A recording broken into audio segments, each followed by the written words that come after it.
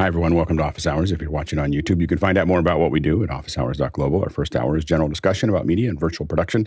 Second hour is usually something we want to spend a little more time on. Today, we're going to talk about Africa and and, and uh, my escapades and some other friends' escapades in Africa.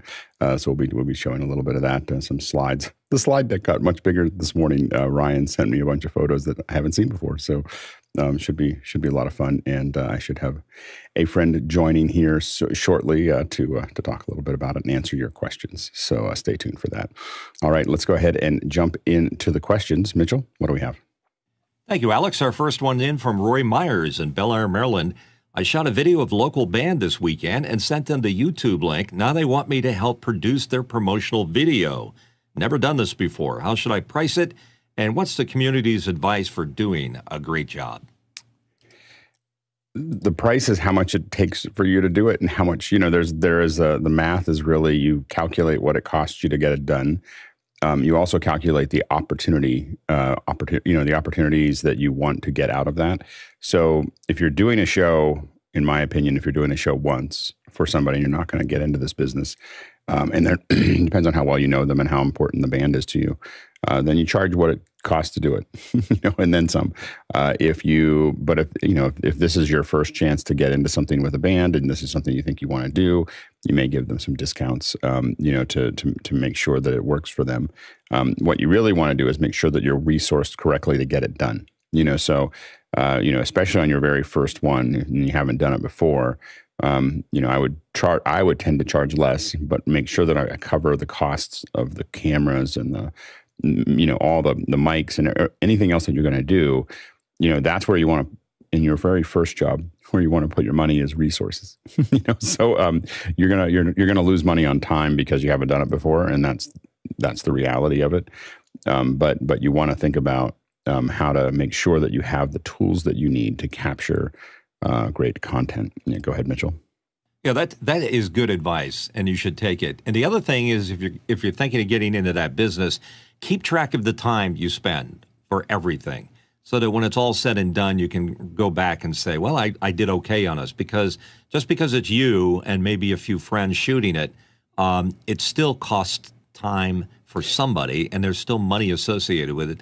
And as you develop uh, your systems and your best practices, you'll have a better feel for it. I mean, a lot of times when I get a client comes in and says, uh, we got this script and um, how much will it cost to produce it? And I go, oh, about about this much. And uh, the the point of that is that it could be anything. Uh, you just have to justify the price. And if they if they insist and they keep pushing, I go two thousand dollars a produced minute for the average project. Mm-hmm. Yeah, and, and again, you just have to decide whether this is something you're getting into or whether it's something you're doing as a favor or whether it's something that you're doing as a business.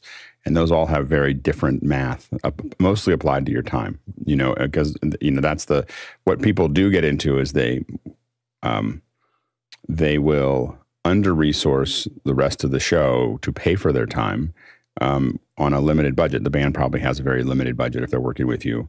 And so they go, well, I got to make some money on this and I got to do this thing. So I'm not going to get the cameras I needed. I'm not going to get, and what you end up with is a band that's not happy, um, product that's not going to get you any more work and maybe a check. so, so that's a, that's a really, you know, especially when you're getting started, that's a really hard, hard way to, to progress, uh, Courtney. But it really depends on what kind of a concept they have. I mean, music videos, I've worked on some that are really low budget, you know, 30000 you know, 10 $10,000 or so, up to ones that are $1.2 million, right. all for one song. So it depends on their concept and how creative they're going to be. I mean, it could require custom costumes, shooting in multiple locations where you might have to procure permits. And if you haven't produced something like this before, uh, you may find that uh, it could cost you a lot more than you estimated if you've just been shooting stuff like the band on a stage. So take that into account. If it's something simple like just shooting a performance on stage from multiple angles, that's one thing. But uh, music videos can get really creative and involve playback in multiple locations and costumes and all kinds of stuff. Yeah, and you know you can do them. I, mean, I know that one of the um, big launch vehicles for a band called Live um, back in the early '90s was that they got a friend to shoot the video and they spent five thousand dollars on it. And the head of MTV just kept on playing it over and over and over again. It's going, they only spent five thousand dollars on this music video. it got a lot of play. Uh, Operation Spirit uh, was was a really um, popular one because of that because they just went out with some cameras and shot a concept. Uh, one thing to think about is if you have control over that, if the band has control over the concept, you're probably in trouble. You know, so that's uh, you know they're they're going to think of things. They're going to watch a bunch of music videos and think of and have an appetite for something that you can't make. Um, if you can work with them on a concept, one of the things to think about is is really uh, you want to think inside of your resources. You know, it's not so much that you're so conservative that it's a boring video, but think about what can I do and what can I, you know, who can I borrow from and who can I, you know, how can I make this work? And so you you, you can oftentimes find efficiencies. You know, there's a house that you can use. There's some there's a location that you can use. There's some friends that have things, and you can kind of pull those things together and find a way to do it efficiently without it um, breaking the bank. You know, and so those are other things to think about as you go through that. Again, if if it's something that you really care about, um, and so that's the thing you want to. And I've definitely, you know everything that got me a new line of work usually started with me scrapping together and trying to figure it out without any without any resources. Go ahead, Mitchell. Yeah, one of the the tough ones, and Alex just touched on it, is meeting your clients' expectations. You know, they have in their mind, oh, you know, MTV or the latest and greatest uh, YouTube video.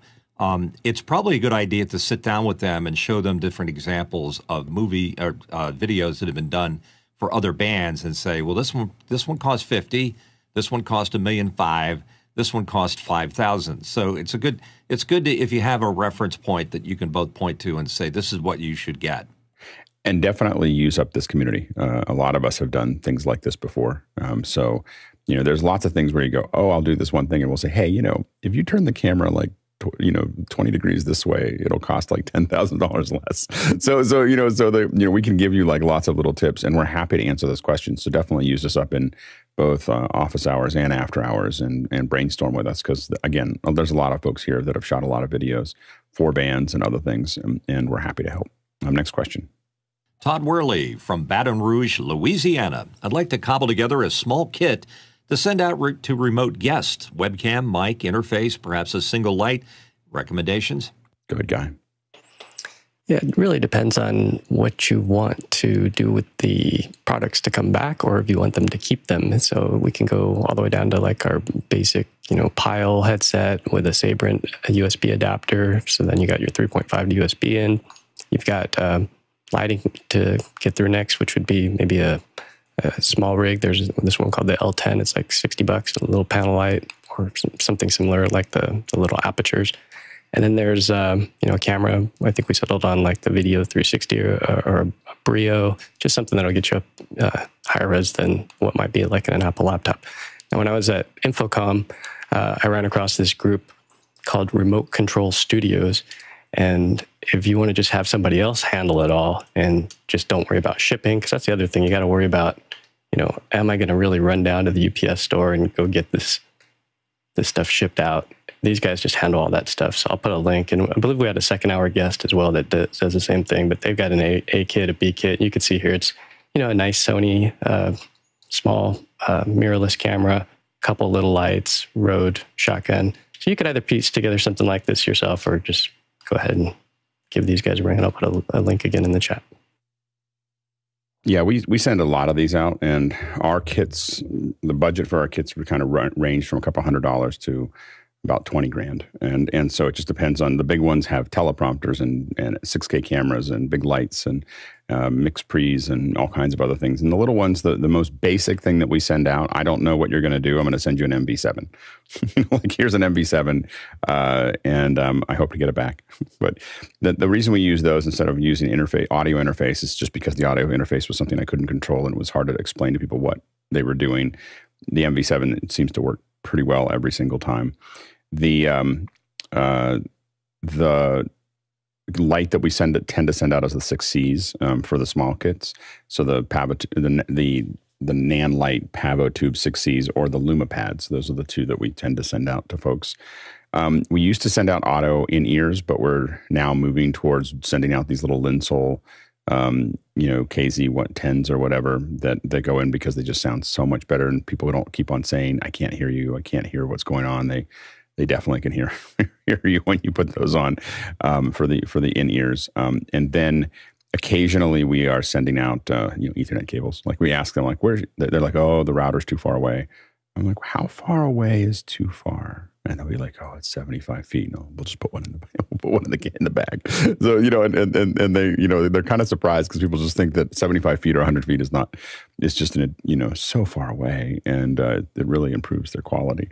So um so those are you know and and again those can you can keep on just stacking up until you're sending them you know, three 1650 Pelican cases with lights and cameras. And uh, we have a brain that we've built that you kind of set down. The, the thing I don't like about the all in ones that are built that we don't build is that um, when you open the box, it really limits where you can put it in the house. like so, the box has to sit somewhere, and we just find that we we tried some of those, and they it's like it now limits you to what table you can put it on and where you can put it and everything else. Also, a lot of time they're lights. Now, those ones I think that one the guy showed looked like they had separate lights. A lot of them come up with lights that are built into the kit, so they're very straight on, which I don't like the look. It's very flattening. Um, so, uh, so anyway, so those are the things you want to think about. But I would say the very basic small kit would be, you know, an MV7, some kind of in ears that'll plug into it some kind of Pavo tube or light panel or light or light Lumipad. Those kinds of things are going to make a big difference in, in what you're doing there. Now, next question. From Darren Cirillo in Dallas, Texas. I've got several Apple TVs and I use Ubiquiti UniFi for my security cameras.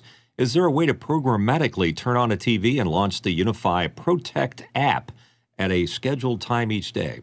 Uh, go ahead, Tom. Can you hear us, Tom?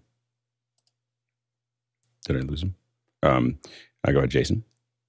There are a handful of ways to do this. It depends on which Apple TV you have. I think the problem you're going to run into is the two-factor authentication. But but I'll answer the question that you asked. Um, you can do this with MDM. You can also do this with automations. Um, and I, guess the final way would be single app mode, um, which is a little bit more reliable. Uh, not a single time of day, but you know, if you want to lock it like it's signage, um, that's your solution. I'll put some links in Mukana. And next question. Next question from Chris Widener in Lafayette, Indiana. So Bluetooth beacons are out. A QR code sandwich board sign seems passe. Isn't there some way to do proximity based ads? We need something at the museum to link web pages to the displays. Go ahead, Courtney. Well, you could use RFID tags, which are the little, you, you can get them either as uh, active or passive. You know, the, the little things like this. You see it at your bank where he says, tap your phone here to gain entry after hours, or uh, use for Apple Pay or Samsung Pay. Most phones have the ability to uh, take in data from an R, uh, passive RFID tag uh, so you could use those and put them in the description in front of the museum display and just say, tap your phone here for more information, and it would deliver a web page URL to your phone and call up your browser and take you to that web page. And go ahead, Mitchell. Yeah, two or three years ago, it was uh, very intrusive because I used to go into the drugstore and all of a sudden I'd start getting hit with uh, these uh, ads um, or hey, by the way, use your card for this and that. Um, and it would follow me outside of the store into the parking lot and perhaps a block away. So um, I don't get that so much anymore. So apparently, a privacy issue has been engaged for your iPhone or your uh, Android phone being uh, invaded. Yeah, yeah. Well, you can do it by position. So we've done some experimentation with you know um, ultra wideband. And, uh, no, we haven't done ultra wideband, but with Bluetooth LE, we can get a pretty good sense of where people are.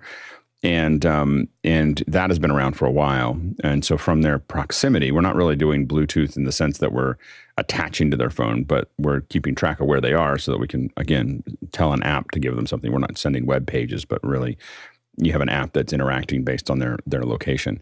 Um, I, you know, I think when people download it, not like what Mitchell was talking about. When they download the app to go into a museum or a location, they're kind of saying, I want to know more information about those things. Um, and so that is where these kind of things become useful. Um, I think that the technology is still funky. like, like I just want to let you know, like you will spend most of your you you. I use QR codes, and I've been doing Bluetooth LE for five years. so like you know, so just just to give you a sense of of, of how uh, how stable that that platform is. It's a lot of different phones. There's a lot of different people that are using them. The one challenge that you get into is that not Android isn't doesn't support QR codes out of the gate. It needs some. You, your app will need to know what to do with it, as opposed to the iPhone, which the iPhone you just point the camera at anything and it will pop immediately into whatever that wants to do. Um, so the Android takes a little bit more of a lift because you just have to, someone, a lot of people do, like I'd say 80, 90% of Android users, but you're just going to have a higher, um, like, uh, question rate from Android users on how to use it.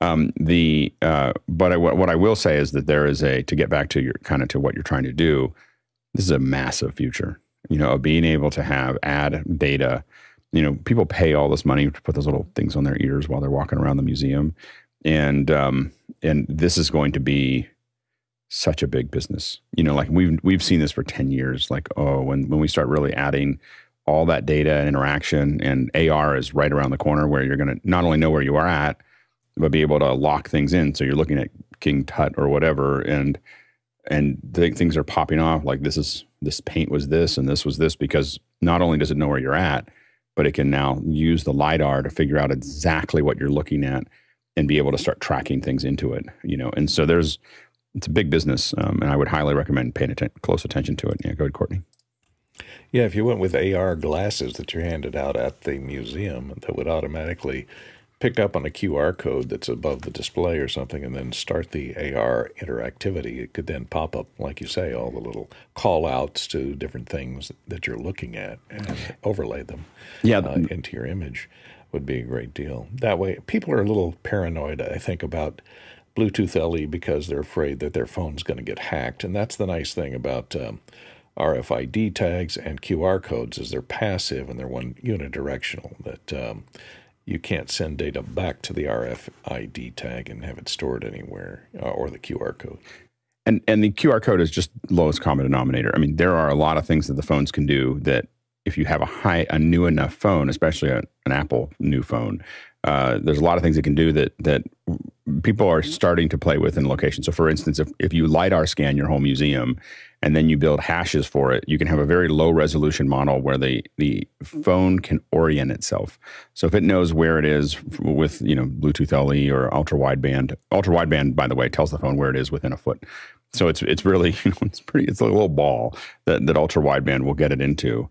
Once it knows that, it only has to search the hash. It doesn't have to search an entire LiDAR library. It just needs to have elements. And you point out to it. Once it gets those elements, it knows where the phone is in less than a millimeter. Its position and rotation. So now you can sit there and lock things onto it and build things out and so on and so forth. And that's it's it's already here. It's just you don't see it very often yet because it just takes a lot of development to get it up. To, no one's built the tools to make it easy to to build stuff, but I, I, think that there's probably some big companies thinking about it pretty hard. And by so, the way, Alex, the Samsung phone's camera app does recognize QR codes right out of the bag. So oh yeah, yeah. There are a, lar- a, large number of phones on Android. I said about eighty percent. Eighty percent, I think, is about right. Um, that of Android phones that that recognize it right out. It's just the twenty percent of people, and they're usually not as technologically savvy. So then it becomes like this. Uh, yeah, the flip phone people. yeah, they're not good. exactly. Go ahead, Mitchell. Another application uh, used in museums, slightly different, um, is if you're in a tour bus or a, uh, a running tour that travels. Like here, we have a Hagley Museum, which is a gunpowder uh, museum for the DuPont company. Um, we put a GPS uh, device in it with uh, that would trigger uh, audio playback. I think the device was an Alcorn McBride, and it would lock onto the satellite. And when you got to it in a certain region, like a bubble, like Alex says, it would trigger a certain announcement, which happened to be me, and um, and it would play. So I know that's quite slightly different application, but it could be possible in your museum. Uh, yeah. Uh, one of the many business plans that I never got funded was uh, uh, in 2000. I think I wrote a business plan that you should have tours, uh, driving tours based on GPS. But GPS was, you know, I had a GPS, but almost nobody had a GPS at the time.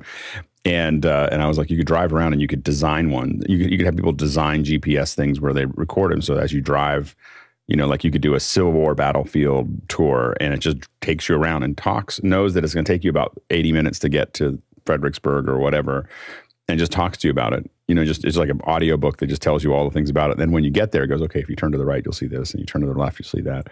And um, you know that that kind of thing could be really, really powerful. I'm surprised 20 years later we're still not doing that. But anyway, someday. Uh, go ahead, Courtney.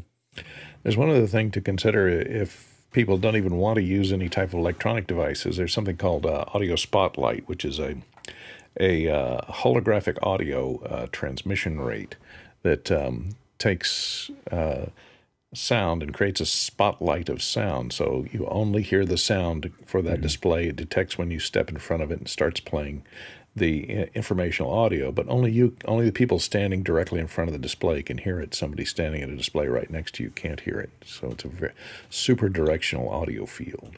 And and for people who are very very technologically uh, adverse, there are there are these devices called tour guides and they will walk around. The hard part is is that the, a lot of them are programmed. They're all programmed differently, and some of them are really good, and some of them aren't. But but they uh, so the, but but they're all you know they're, they're they're range, and a lot of times they're they're very useful. They're very interactive, and they can uh, you know oftentimes get you through those things. Uh, next question. Tim Mann from Melbourne, Australia. Recommendations for a low noise USB interface preamp for use with post hire headset training. Post hire headset training.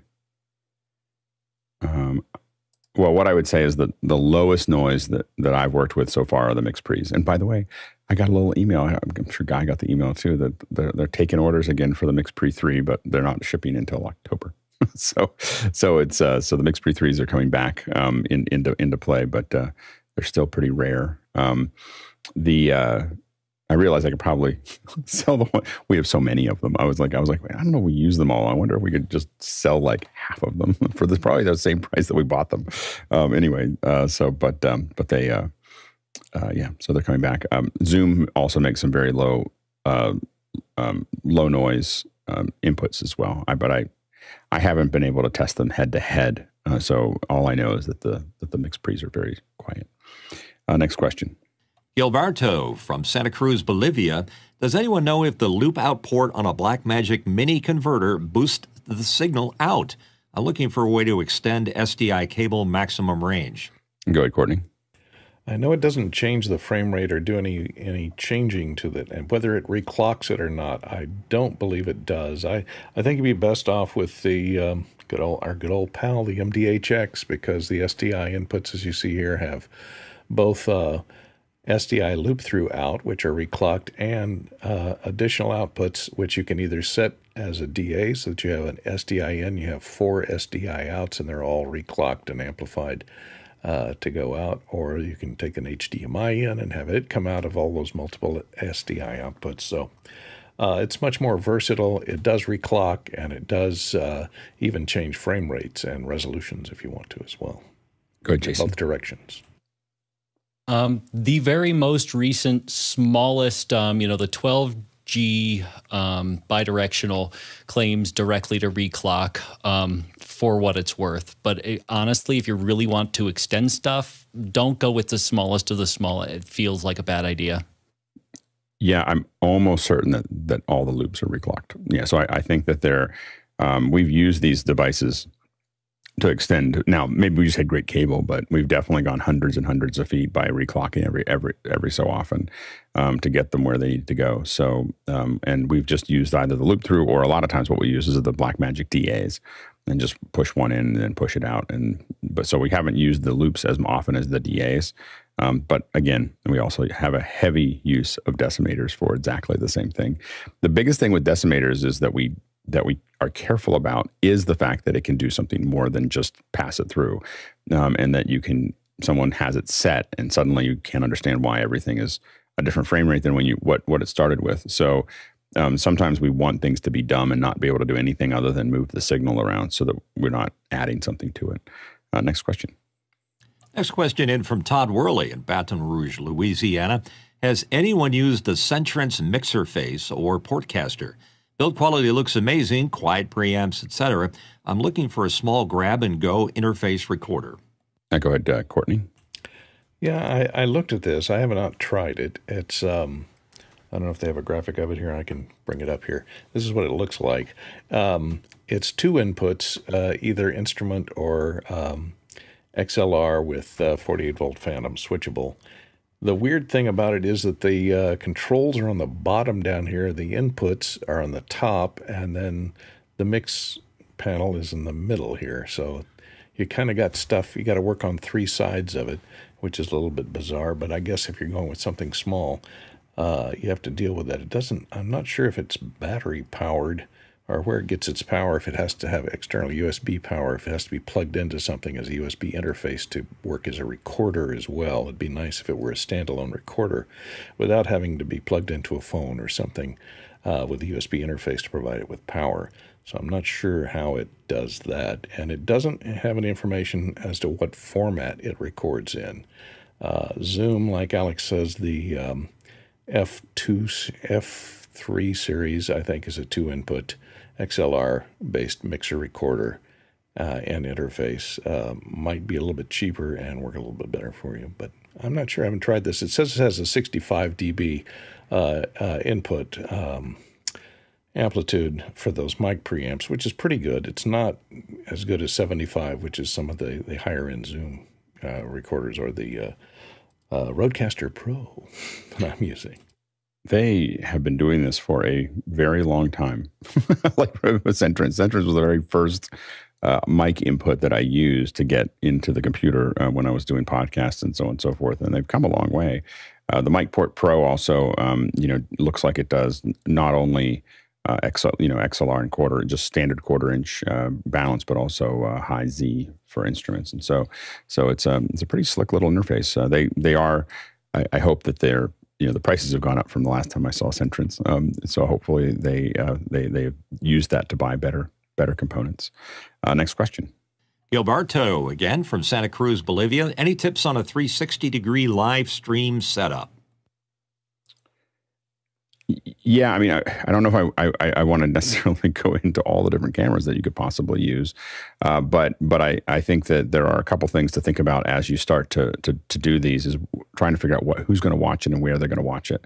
So um, if you are uh, if you're you're, you're going to find that stereo is hard. stereo is just is a hard thing to look at. Um, you know, it's hard to get it right. So um, so just think about whether you're trying to have you know there are a couple different companies that build um, stereo rigs um, that will that will give you both eyes.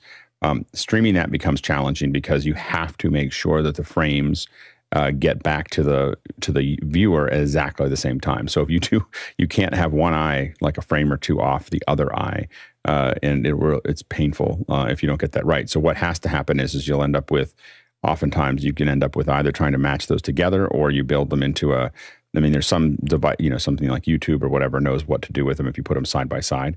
So you want to keep them together. The hard part you get into is if you if you're trying to do 4K per eye. 4K per eye is really where things get fun to watch. Um, is 4K per eye is kind of the minimum uh, the, the, to to really look good. I mean, after below that at a 1080p or or or, um, or 2K per eye, it's, it's really it, it, gets harder to watch. Um, it's just softer. Um, it's cool for a couple minutes, and then after that, people don't want to watch it anymore. And so you really want that 4K or 4K per eye, um, but that becomes now an 8K wide. you know, it becomes a very big image um, for you to, to to deal with. And so um, so that that's a challenge. Is from a bandwidth perspective, you usually have to use two encoders because you're doing two 4K streams. Those encoders then need to be um, output locked, and so that's a you, so you're really talking about like relatively powerful elementals, um, you know, those types of things to get that 4K per eye out in a way that I would say is stable. I mean, there are cheaper ways to do this, but they're they're especially if you're doing stereo. Once you go back to mono, it's a pretty straightforward process. There's lots of pro- there's lots of encoders that can do 4K. Um, the thing to think about is the camera doesn't want to move very much. Remember that people's if their inner ear and their eyes disagree with each other, our lower brain thinks that we're being poisoned and it wants to eject everything out of our body so to get to, to, to, get rid of whatever might be making it sick. So that's what we call seasickness but really that's a in that's a discontinuity between the inner ear and the eyes. And so lower frame rates the lower the frame rate the more people are susceptible to that. Moving the camera around because the person's not moving but suddenly the camera's translating will make people um, not not comfortable really quickly um, the primarily the best content you're going to get is between five and 15 feet away. If you're using something that is all in one, like a theta, you're going to get you'll have minimal um, edging problems. Uh, if you're using something that's actually uh, it's it's actually um, blending five or six cameras, four cameras, five cameras, six cameras, whatever that is. Uh, if it's doing those those uh, that the blending, you may end up when you get under three feet, you may end up getting starting to see the seams between them. It'll be like a soft seam that sometimes you can control depending on the encode that you're using. So those are things, some of the things to think about when you're doing the live stream. They are really cool. Um, the other thing to just think about is the content. You know, does everyone all the way around are they conscious that they're on camera? We shot a concert where um, uh, we put a 360 camera right in front of the stage. Um, and it was great to watch the stage. But when you turned around, there was folks that were having a great time uh, behind the camera and weren't really conscious to the fact that they were right, like literally three feet from a camera, having a really good time, and some of it may not have been legal. So, so that you know, so the, so the, um, so the, so I, I think that this is you know back before we legalized marijuana. so, so anyway, so the, um, and fortunately that was a test stream. It wasn't a, a real stream. So, so, but it made us very conscious to a 180 might be great. So, um, just think about those things to protect the content as well. Go ahead, Peter. Well, the one I remember is I tried this earlier this year, as a matter of fact, tying a, and I learned I needed to stabilizing is important. We uh, put a 360 camera at the top end of a 40 foot mast. Yeah. To uh, to yeah, that'll be to watch a sailing race to to Yeah. film a sailing race, and um, the viewers got a little seasick. yeah. we got yeah. lots of complaints about that. Yeah, yeah, exactly. So those are the kind of things that we thought it would be really funny to put it on a steady cam rig, but that does not doesn't work. In case you're wondering, um, usually what you really want to do is give someone a stationary place. The other thing to think about is eye height. Um, generally, we put people at the height that a person would stand. So the camera is sitting at five five and a half feet typically. Um, you know, five feet to five to five and a half feet is where your eyes are kind of the average person's eyes are kind of sitting. So we kind of look at that as a as a as a general height for for making that work. Um, but you're better off cutting between them. The other thing to think about is audio. Um, using some kind of like a Sennheiser AMBEO, um, you know, can get you some surround, um, and and that really does help bring you back into the scene. Uh, next question. Kenny Hampton from Greenville, Illinois, wanting to video capture from upper stories of a building and adjacent construction building project, which will span likely 16 months. Recommendations appreciated for time lapse capture cameras methods with camera likely mounted outdoors. Go ahead, Mitchell. Uh, the first piece of advice I'd give is make sure that is either really well secured um, or or a cheap camera that you don't mind losing. Because I had a friend do what I recommended six months ago, and uh, the camera was stolen twice. It's probably a low end uh, Sony Alpha. Um, the other thing is you, you can get a GoPro, and uh, there are plenty of apps out there or programming that you can do to it that that will snap to pictures. The uh, the wish list that I really would think would be cool is an app that uh, uh, snaps to picture the same time every day, but it's aware of the day, season, uh, and sun position, so that when you do the time lapse and you put it all all together again, um, the sun doesn't shift around and do weird things with shadows. Yeah, and and there are you know there are companies like um, iBeam Systems and so on and so forth that really are built around um, making this uh, this available for construction, and those are hardened cases that are designed to be outside. Go ahead, Courtney. Yeah, and if you're cheap, you know the Wyze Cam. Wisecam makes an an outdoor battery powered unit. Uh, you might be able to also power it. I would suggest uh, having something that has, uh, if you have access to where the camera is going to be mounted, and a Wi-Fi connection within uh, easy reach of that camera. The best thing to do is have one that records locally time lapse, but also uploads to the cloud so that you can check in on it uh, to make sure it's still running and make sure you know you got the latest pictures from the latest days, especially if it's going to be up there for 18 months. You should have an alternate source of power to that camera and a battery backup so that if the power goes down temporarily, you won't uh, lose anything by uh, munging your your recording card uh, if it goes down in the middle of a when it's when it's taking shots. Um, but look at Wyze. Most of the security type cameras have a, a have a method of doing time lapse photography, so and uploading them to the cloud. So that would be my suggestion. Yeah, and solar is really great just to make sure that everything stays uh, where it needs as far as charging the batteries and then having it run, uh, especially if you're only running it during the day, because at night there's not much to see. But sometimes people keep it running. Um, also, just keep it keep track of uh, the, the fact that when it rains, it it will the lens will need to be cleaned. so, so um, preferably at night um, and very carefully, so not to. But almost all of the time lapse that you take will end up being uh, re-stabilized later because you, you, you know, there'll be wind, there'll be all kinds of other things. So, you know, if it's close, it's you know, it's it's pretty good um, because it's time lapse. There's not a lot of motion blur. Now, next question. Douglas Carmichael with a question. Uh, in the electronic music compositions I've created, I found myself being able to build a four to eight bar idea or loop easily, but stumped as how to create interesting variations to extend it into a full track. What techniques can be useful? Uh, I don't have a strong answer. I'm still stuck on the four to eight bars. Uh, go ahead, Courtney. Well, if you use a uh, sequencer, even in an analog synth, you set up your sequence with a period, you know, a sequence of 10 to 32 notes, something like that, with with uh, some blanks in there to to offer some rhythm of some sort. And you set up an oscillator and you run it through, and then you run it through a filter, and then you can just uh, keep running that same that same loop over and over again uh, from the sequencer, and then just vary the filter to give it uh, variety. You can uh, make you can change the sound consistently by just turning a knob as you as you go through the song, and you can also vary the tempo by changing the the tempo rate of the sequencer uh, on the fly. So you can use that to create a a long um, uh, track for the, an entire song that doesn't get too repetitive, so it keeps it interesting throughout. Uh, yet stays in t- in time and in tune with uh, what what's on the other tracks. Next question. Andre Dole in Berlin. After deleting the Rode Connect driver, an app on my MacBook Pro M1, I have a weirdly named remaining audio device in Unity, and now my Bluetooth headphones have disturbed the sound. Suggestions else than rebooting. Good, Peter. So um, I can't, you almost can't avoid the reboot, but I always, when I get into weird situations like this, there's a piece of software my actually my old security team turned me on to uh, for Mac. It's from Titanium Software. It's called OnyX, which does a reasonably good job of scrubbing things out of the system that are no longer being used and can get rid of things. So, and it's takes about five minutes to run on my Mac Pro, and it it will get the uh, phantom drivers and things like that. Interestingly enough, while you're talking, we're, we're hearing a little clicking. It's all, it was very ironic.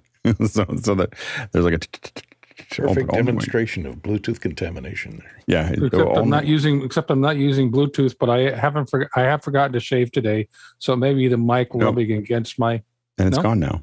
It's magic. Then I have no idea. Then it's very interesting. Just, just, just while you, it just was amazing that while you're talking, answering one question, that it happened, and then you came back and it's fine. Like it, that's crazy. All right, next question. It was musical too. Yeah, exactly. Uh, question from Douglas Carmichael. FX PhD combines VFX training with a private Slack group and VPN access to full versions of software. In my mind, that's an heir to the PXC throne.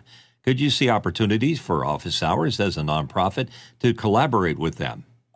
Yeah, absolutely. Uh, Mike, uh, the founder, is an old friend of mine, and uh, there's a lot of similarities between FX PhD and and uh, Pixel Corps. And FX PhD is a little younger than Pixel Corps. Next question. Douglas back with a question. One anti-remote work argument is the reduced opportunity for social emotional support. Many have said, though, that keeping emotionally sensitive matters out of a professional environment ensures group cohesion and a healthy climate. Do you agree? By the way, we'll start the African part early if we don't have any more questions. Uh, where this is our last question. I wasn't really keeping track of that. So if you have any other questions you want to throw in, uh, feel free to uh, to throw those in before we get to the to the uh, top of the hour.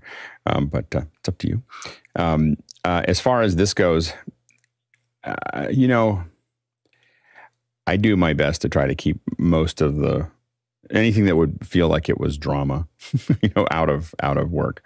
Uh, personal things that I think might be entertaining, I might uh, fill time with maybe uh, if they're in a meeting, but I generally try to keep most of that out of the out of my work my work environment. Um, it's just really hard to know what is going to trigger people, and so and and also sometimes just them knowing more than they need to, and then people try to use that as a way to get to know people, and it just becomes uncomfortable and weird. So, so I I, I do talk about personal things. It's not like I'm uh, only talking about business when I'm when I'm in a in a in a professional environment, but usually I'm using it to fill time.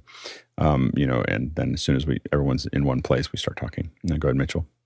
I don't know if this will help answer the question, but uh, I had a little object lesson yesterday. I have a friend that owns a health food restaurant, and um, she's also an activist and spends a lot of time um, going out and doing activist related things. And while I was there, she was saying, you know, isn't it great that, you know, I'm doing this and this? And I said, it is. But to be honest with you, pro or con, and I think, Alex, you said this, when you bring up any political or uh, incendiary subject, it tends to make you feel uncomfortable. And I know she was very passionate about her opinions, but it put me off, and uh, and I had to say something to her, and she's upset with me now. So, where do you find the proper venue to you know, educate people to where is the appropriate place to be talking about certain subjects? Not a restaurant. Uh, I yeah, I, I don't have. I mean, you said not a restaurant or at a restaurant. I was speaking uh, rhetorically there. Oh well, I mean, I guess the thing is, is I mean, when I'm hanging out with friends and so on and so forth, I mean, I gauge whether I think that they can have a useful conversation about whatever we want to talk about, um, and then make it try to make a decision about whether we'll I'll broach that conversation or respond to it. A lot of times, people will have like a, a very political or a very incendiary response, and I just won't say anything. like I don't I don't need to I don't need to keep that conversation going uh, or or get in or dig into it. I just let it let it f- often slide over, or I just create a new conversation that sometimes. Yeah, I, I find that a spit take generally shuts everybody up. yeah, no, I I uh, um, I. I, I mostly, you know, it just depends on who the person is and where, what environment, and what my relationship is to them. But generally, in purely professional relationships, I, I try to stay away from anything that I think is going to turn turn into something people having strong opinions, like you know, other than work. Uh, go ahead, Nigel. My my old headmaster used to say, "There's no point arguing with someone when you know you're right," um, because at the end of the day, uh, it is really hard to change anybody's opinion about anything that uh, you can't find common ground of facts yeah. on. Yeah, I, I, think that that's the, I think that the thing that I enjoy the most with people when is talking about things where we're all exploring the idea. It, we're not trying to persuade anybody of what that what that is. We're you know so a conversation that is not a attempt at persuasion, but really just uh, talking through the issues and, and bouncing off of, bouncing those issues off. I think is very fun to have to do. It's just that um, I, I find that you know maybe I'm it's old fogey complaining about you know the kids these days but it's not just kids it's people of all ages just don't seem to be able to have a reasonable conversation when they don't agree with when everyone around them doesn't agree with them. Like you just you just kind of like it's fine like they don't have to agree with you. And and it's just it's it can be just kind of an, a fun conversation people don't but everyone gets really riled up now. So i, I that's why i tend to not not do those things. Um, Alex, do that old guy voice that you do so well. Uh, kids these days, I can't believe it. All right, Next question. Thank you. Uh, Ryan, uh, Ryan Ewell in Kigali, Rwanda. Any recommendations for a quick, easy, cheapish background setup for Zoom meetings? Peter. I just you know took your advice year uh, months ago and put up Elastilite behind me, and then uh, one of those uh, Pavo six C twos. Yeah, that's what's giving the blue light. Now, we can go into the rest of the lighting but the background is just elastilite and it works great and covers all the reflective glass on the pictures that are sitting behind it. I have like four or five of them now you know wherever we have to set up and they're no they're no longer branded as Lastolite. they are now manfrotto. Manfrotto had bought Lastolite or or Vitec or whatever had bought them but now it's a manfrotto I do recommend the six foot by seven foot, not the five by six. It's seventy dollars more to get one more foot each direction, and worth every penny. So um, the six five by six has to be too close to you. So the six by seven is what I would recommend. There's also a mounting, a little mounting bracket for about another hundred bucks or hundred and thirty dollars that goes on top of a light stand or a C stand, and I don't have a picture of it um, here, but it's got two little magnets that the that the um, gray screen can just snap to. The metal that it uses to get its rigidness will snap to the magnets. Wow, life saving, like like life changing. Like you just you just put this thing up and you just slap it. You just kind of throw it at it and it goes and and now it's it's set up. And so I would highly recommend um, using the, those two things together. Is not um, completely inexpensive, but very very um, useful in that area. Uh, and then of course, as as uh, Peter said, a good little light is is fine to do them. I'm using a, a you know a Nanlite and way more than I need just because I have the, the light there. Um, but but anyway, I would recommend um, you know taking a look at those. The um, uh, the the gray screens though th- those work really really well. Just remember to fold it like a taco and then fold it under. If you try to twist it one on the one that big, it won't work. Just, there's just a lot of swearing and no folding. Um, so you have to fold it like a taco and then pull the under and just, I just, I literally just twist the top and throw it on the ground. And it just, it, I, I, can't figure out how to do it any other way, just to, than just to throw it and it just coils up and I put it back in the bag. Um, so anyway, next question. Robert Shoji in Los Angeles, California. Other than software compatibility problems, are there any potential performance issues when updating from Big Sur to Monterey on a 2019 MacBook Pro? Go ahead, Mitchell. I, I, I think that the last big incremental upgrade from Apple that might cause trouble, um, and I have it on my uh, Power Mac, but certainly not a uh, MacBook Pro, was a Mojave. You know, past Mojave, then you might have issues. Yeah, I mean, Big Sur had it. I mean, they've definitely been getting ready for the M1 series or the M series for a while, and so there's just been a lot of changes under the hood. And Monterey, I think, continue those changes. I would say Monterey now is doing uh, pretty well. Um, so, so I, so I think that um, usually after WWDC is the right time to update to the last last year's version of a operating system because it's kind of as hammered out as it's going to be. Um, next question. Dan Huber in Erie, Pennsylvania. Not as good as Mukana, but has anyone used the Q&A website Online Questions? I don't think anybody has. Uh, next question. Andy Kuckendorfer from Viera, Florida. Thoughts on using a GoPro as a zoom camera? It's really wide angle. So I think you can get a, a tighter angle. It has settings in there to crop the sensor um, to output those. Um, but we've we've used them as that. It's just it's just that it's it's really good if you have a group of people um, or a wide angle that you want, but not as good if you want the framing that we have here. Uh, next question. Eduardo Augustine in Panama. Do you have a dedicated computer for your telestrator? Planning on getting a used 2014 Mac Mini? I do. I have a Mac Mini. This is the telestrator that I, that I have at home, and I um I have it's a 2012 I think a 2012, might be 2014 Mac Mini. So it's very old because it only has to do this. like that's like literally its only job. And it turns out almost any Mac Mini ever made can do that one thing. Uh, next question. And it's from Gilberto in Santa Cruz, Bolivia. On hybrid events, how do you manage live audio translation?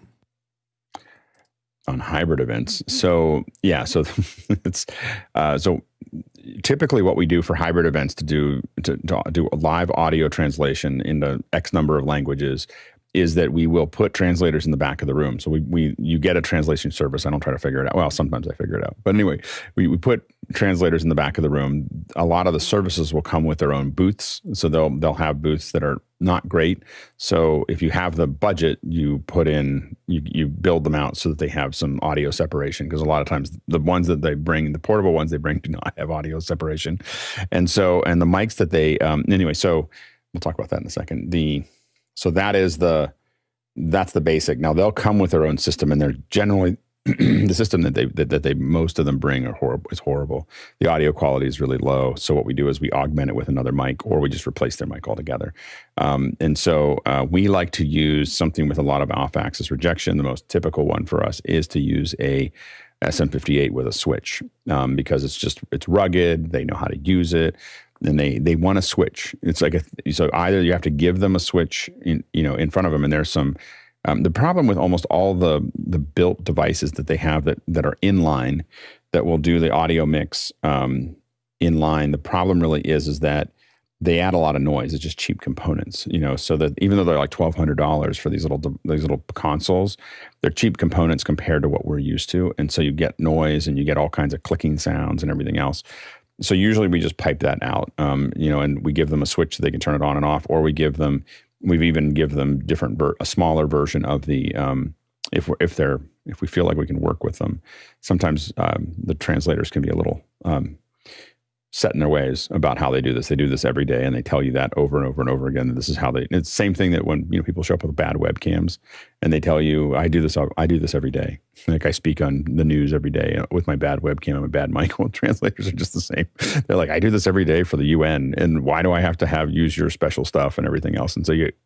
Those are the ones you don't use anymore. You know, so you find ones that are excited the fact that they sound really good and they and they look good and they and you build we build pipe pipelines for them to to do that. So that's how we then that all that audio you have to figure out now the, those little devices are kind of built and you have to figure out a way to tie them back into their audio system. So they'll come and they'll supply headsets for everybody. And so those headsets um, oftentimes have channels up to six channels oftentimes. And so and people you just got to depend on how you're going to do it. You they don't work anywhere else so there's not a real reason to steal them. Um, now there are some low latency to the cellular phone but oftentimes there's some there's a little bit of latency there. But cell using cell phones is the next generation of things and people are companies are coming out with them because the latency doesn't have to be perfect because you're not listening to the person there you're listening to a person talking after it. So if they're you know 300 milliseconds behind it doesn't matter as much. And so so some of the cell phone solutions are, are coming for that. Then you take all that audio and you wrap it into you can do a couple different things in, with it but you wrap it into multiple channels. So an sdi signal will handle up to 16 channels. Uh, the most we've used of those is 14 um, and um, and so you can you can stack them all in. You can push that all up to uh, you. The elemental links will do eight channels. Um, their appliance encoders will do sixteen, and the UHD version of the link will do 16 channels. You can get them all up into the into AWS, and then now what you do is you just carve them out. You can carve, you can just remap the audio. So you say this audio is now this one and this one and this one, and so you end up with 14 streams or 12 streams or whatever in in, in AWS going out to all of the you know the outputs that you need. Um, what's kind of cool is if you feed them in as separate computers into Zoom, you can um, uh, you can you can set them up as with the languages. So there's a translation um, feature inside of Zoom meetings where you can add translators. So you can add them there, and you can then put them in as computers, and then people can select them, and they'll it'll do all the ducking for them. The real exciting part, which we won't get into today, but is cross mixing, so that you can have a lot of times we do stuff where we have one language in one ear or in another language in another ear so that it, we can send the same stream out and everybody that wants to listen to Hindi listens to one side and everybody wants to English is the other. Or you can cross mix those where they're for TV when we're broadcasting it to, to satellite, we will do it so that the Hindi gets depressed. There's one channel where the Hindi is depressed under the English, the English is depressed under the Hindi. You know, those are the things that we can do that the then the broadcaster and you can do them in one stream. You can kind of serve both markets, um, but it's you t- it takes a really skilled audio engineer to set that up. Next question. From Andy Kokendorfer in Viera, Florida. Any good resources about meeting cognitive stress? Um, crayon.ai. Just leave it open. Put the stuff into it. just, just, that was perfect. just keep on pushing draw and it'll come up with the craziest stuff and you'll be at least entertained. I, you know, I, I, I have to admit that almost every meeting that I get pulled into, I'm primarily part, I'm, I have to speak in the meeting. So I have to be very present. So I don't get to, I don't get to sit uh, in meetings very often. Um, so I'm, uh, so I don't get to do that. I don't get to do much of anything in the background anymore. But uh, when I do, when I at the occasional times I do, I usually have Craiyon up open, and, and it gives me something. It just gives me something to fiddle with. I, I can still listen to the meeting, but I can fiddle with uh, drawing crazy things. I usually Craiyon is horrible except for logos, so I just say draw this as a logo. You know, like draw the honey badger as a logo on a movie poster, and that's a great one, by the way. Go ahead, Nigel. So I'm not, I, I'm not sure I can argue, answer this for general cognitive stress, but for meetings, I discovered the most important thing to do is before anybody says anything, I always try and say, why are we here? Mm-hmm. What is the purpose of this meeting? So when we've, if we don't achieve it, or if we're going the wrong way, we'll go back, and when we're done, we're done. And go ahead, Courtney. You get a really good makeup person to paint on your eyelids like your eyes are open when you're actually closed and taking a nap. So just take a nap in the middle of it. I have, um, yeah, we've had even things on the show where you know loops and other things like that that don't don't turn out well.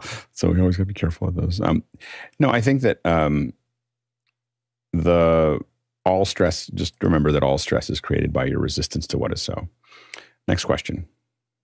Douglas Carmichael, is it typically best to have harmonic enhancement or saturation processing like the Elektron Analog Heat on a stereo mix before or after a master bus compressor like the SSL bus compressor?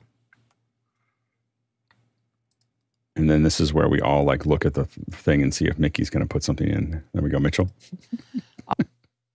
I can speak for the SSL uh, bus compressor. It's meant to be the last thing in the chain. So that much I do know. Mickey says whatever, whichever sounds best for the specific track. okay, next question. Douglas is back. When Autodesk announced Flame support for M1 Macs, they mentioned that Flame can now run on a MacBook Pro. Wouldn't a 14 inch screen be too small for any serious editing, compositing work? Yeah, but you can plug in an external monitor and make it much bigger. Next question. Uh, it's from me. Um, how would you talk a news channel like CNN for using you as a tech pundit? You know, I don't. There's so there's there's definitely um, there are uh, representatives that represent speakers. So there's companies that just represent like we are your one-stop shop to find speakers for your shows and for your interviews and everything else. And what you do is you get into that into that's the number one place that a lot of these companies go to is they go to this. There's a couple of these. They're like clearinghouses for speakers, and um, they are um, and they just get contact. We're looking for this kind of person with this kind of background with this. Da, da, da, and um, that's how about my guess is 60 to 70 percent of the people that um, are on air come from a couple of these clearinghouses that are being that are representing people who are potentially speakers, potentially guests.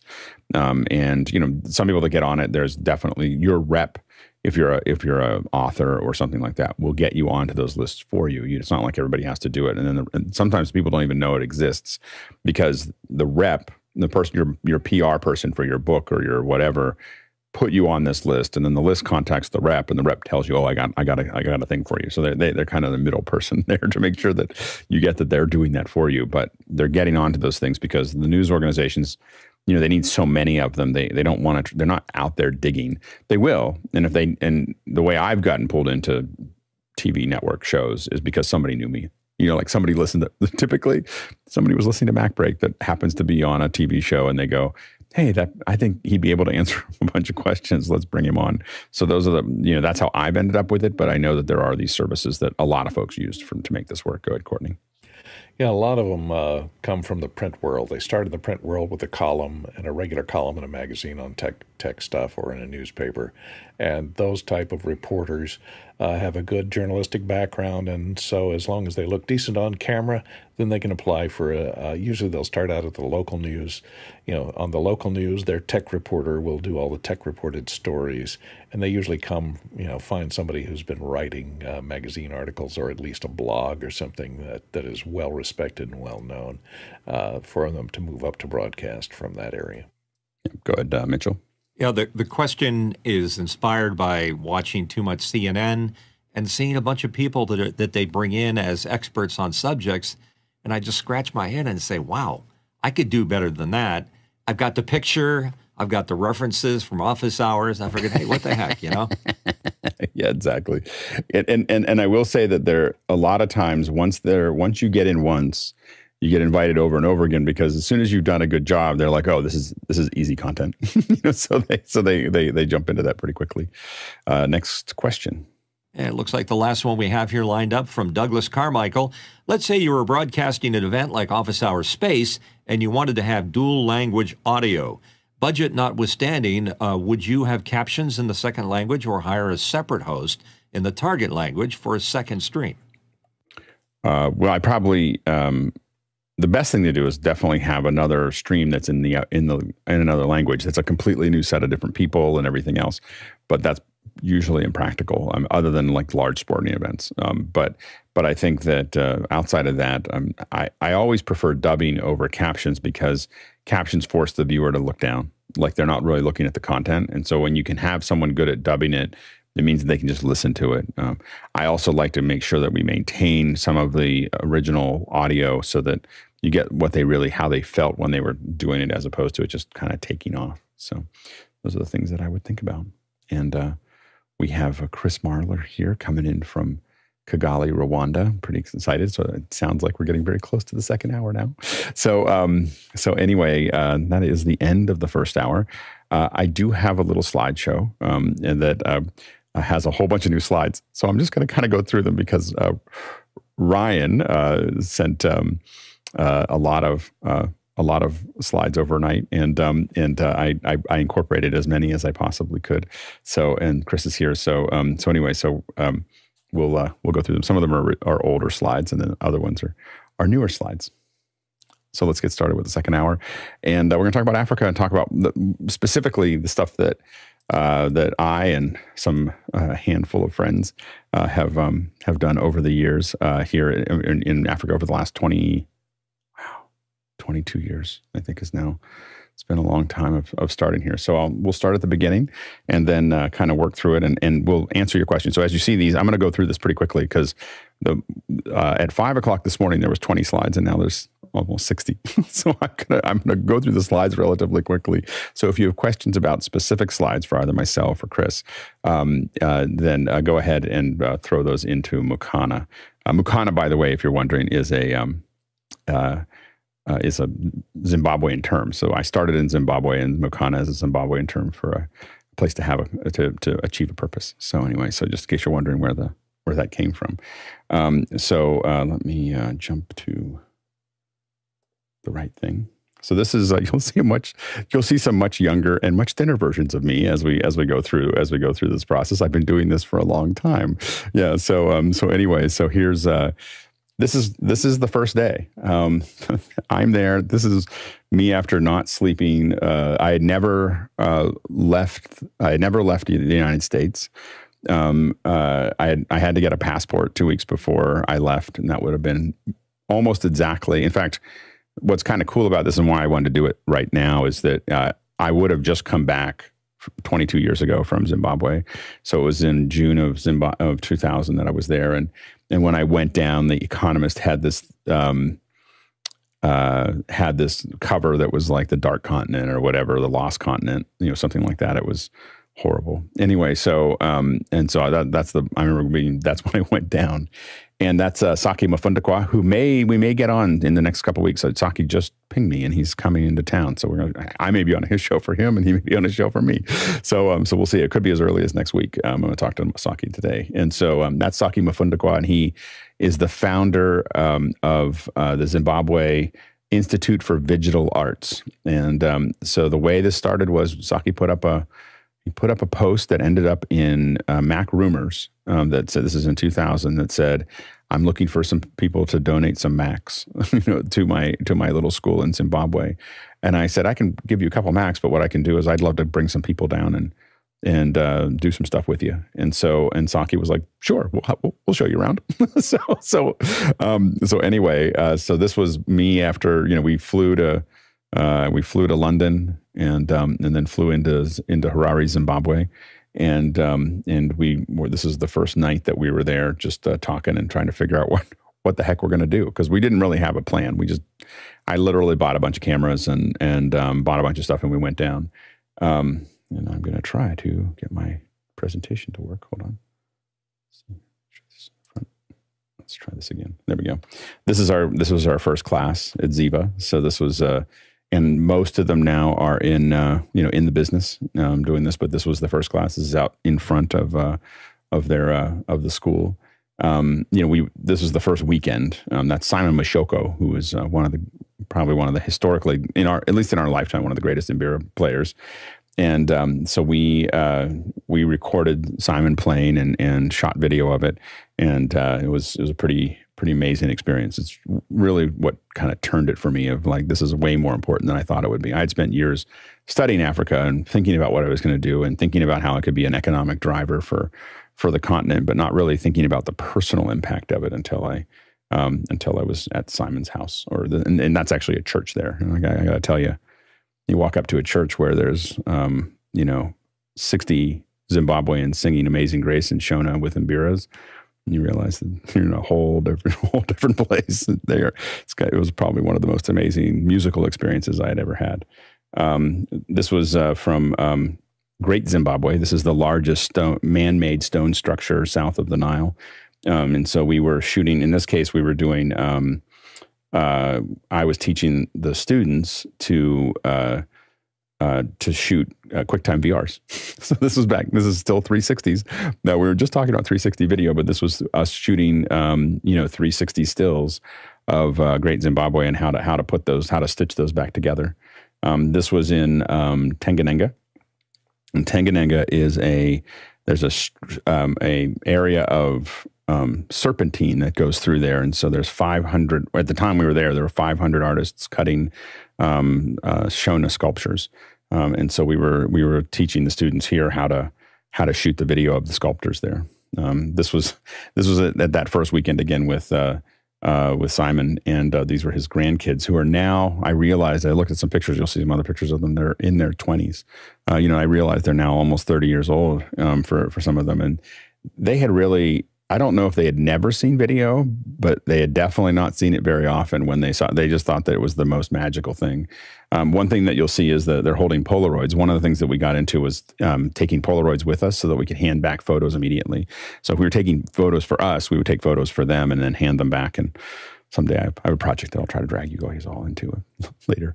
Um, this was Simon Mashoko's uh, grandkids, and still one of my uh, one of my favorite photos that I've taken ever. Um, just uh, just a really captured the you know I don't know the family.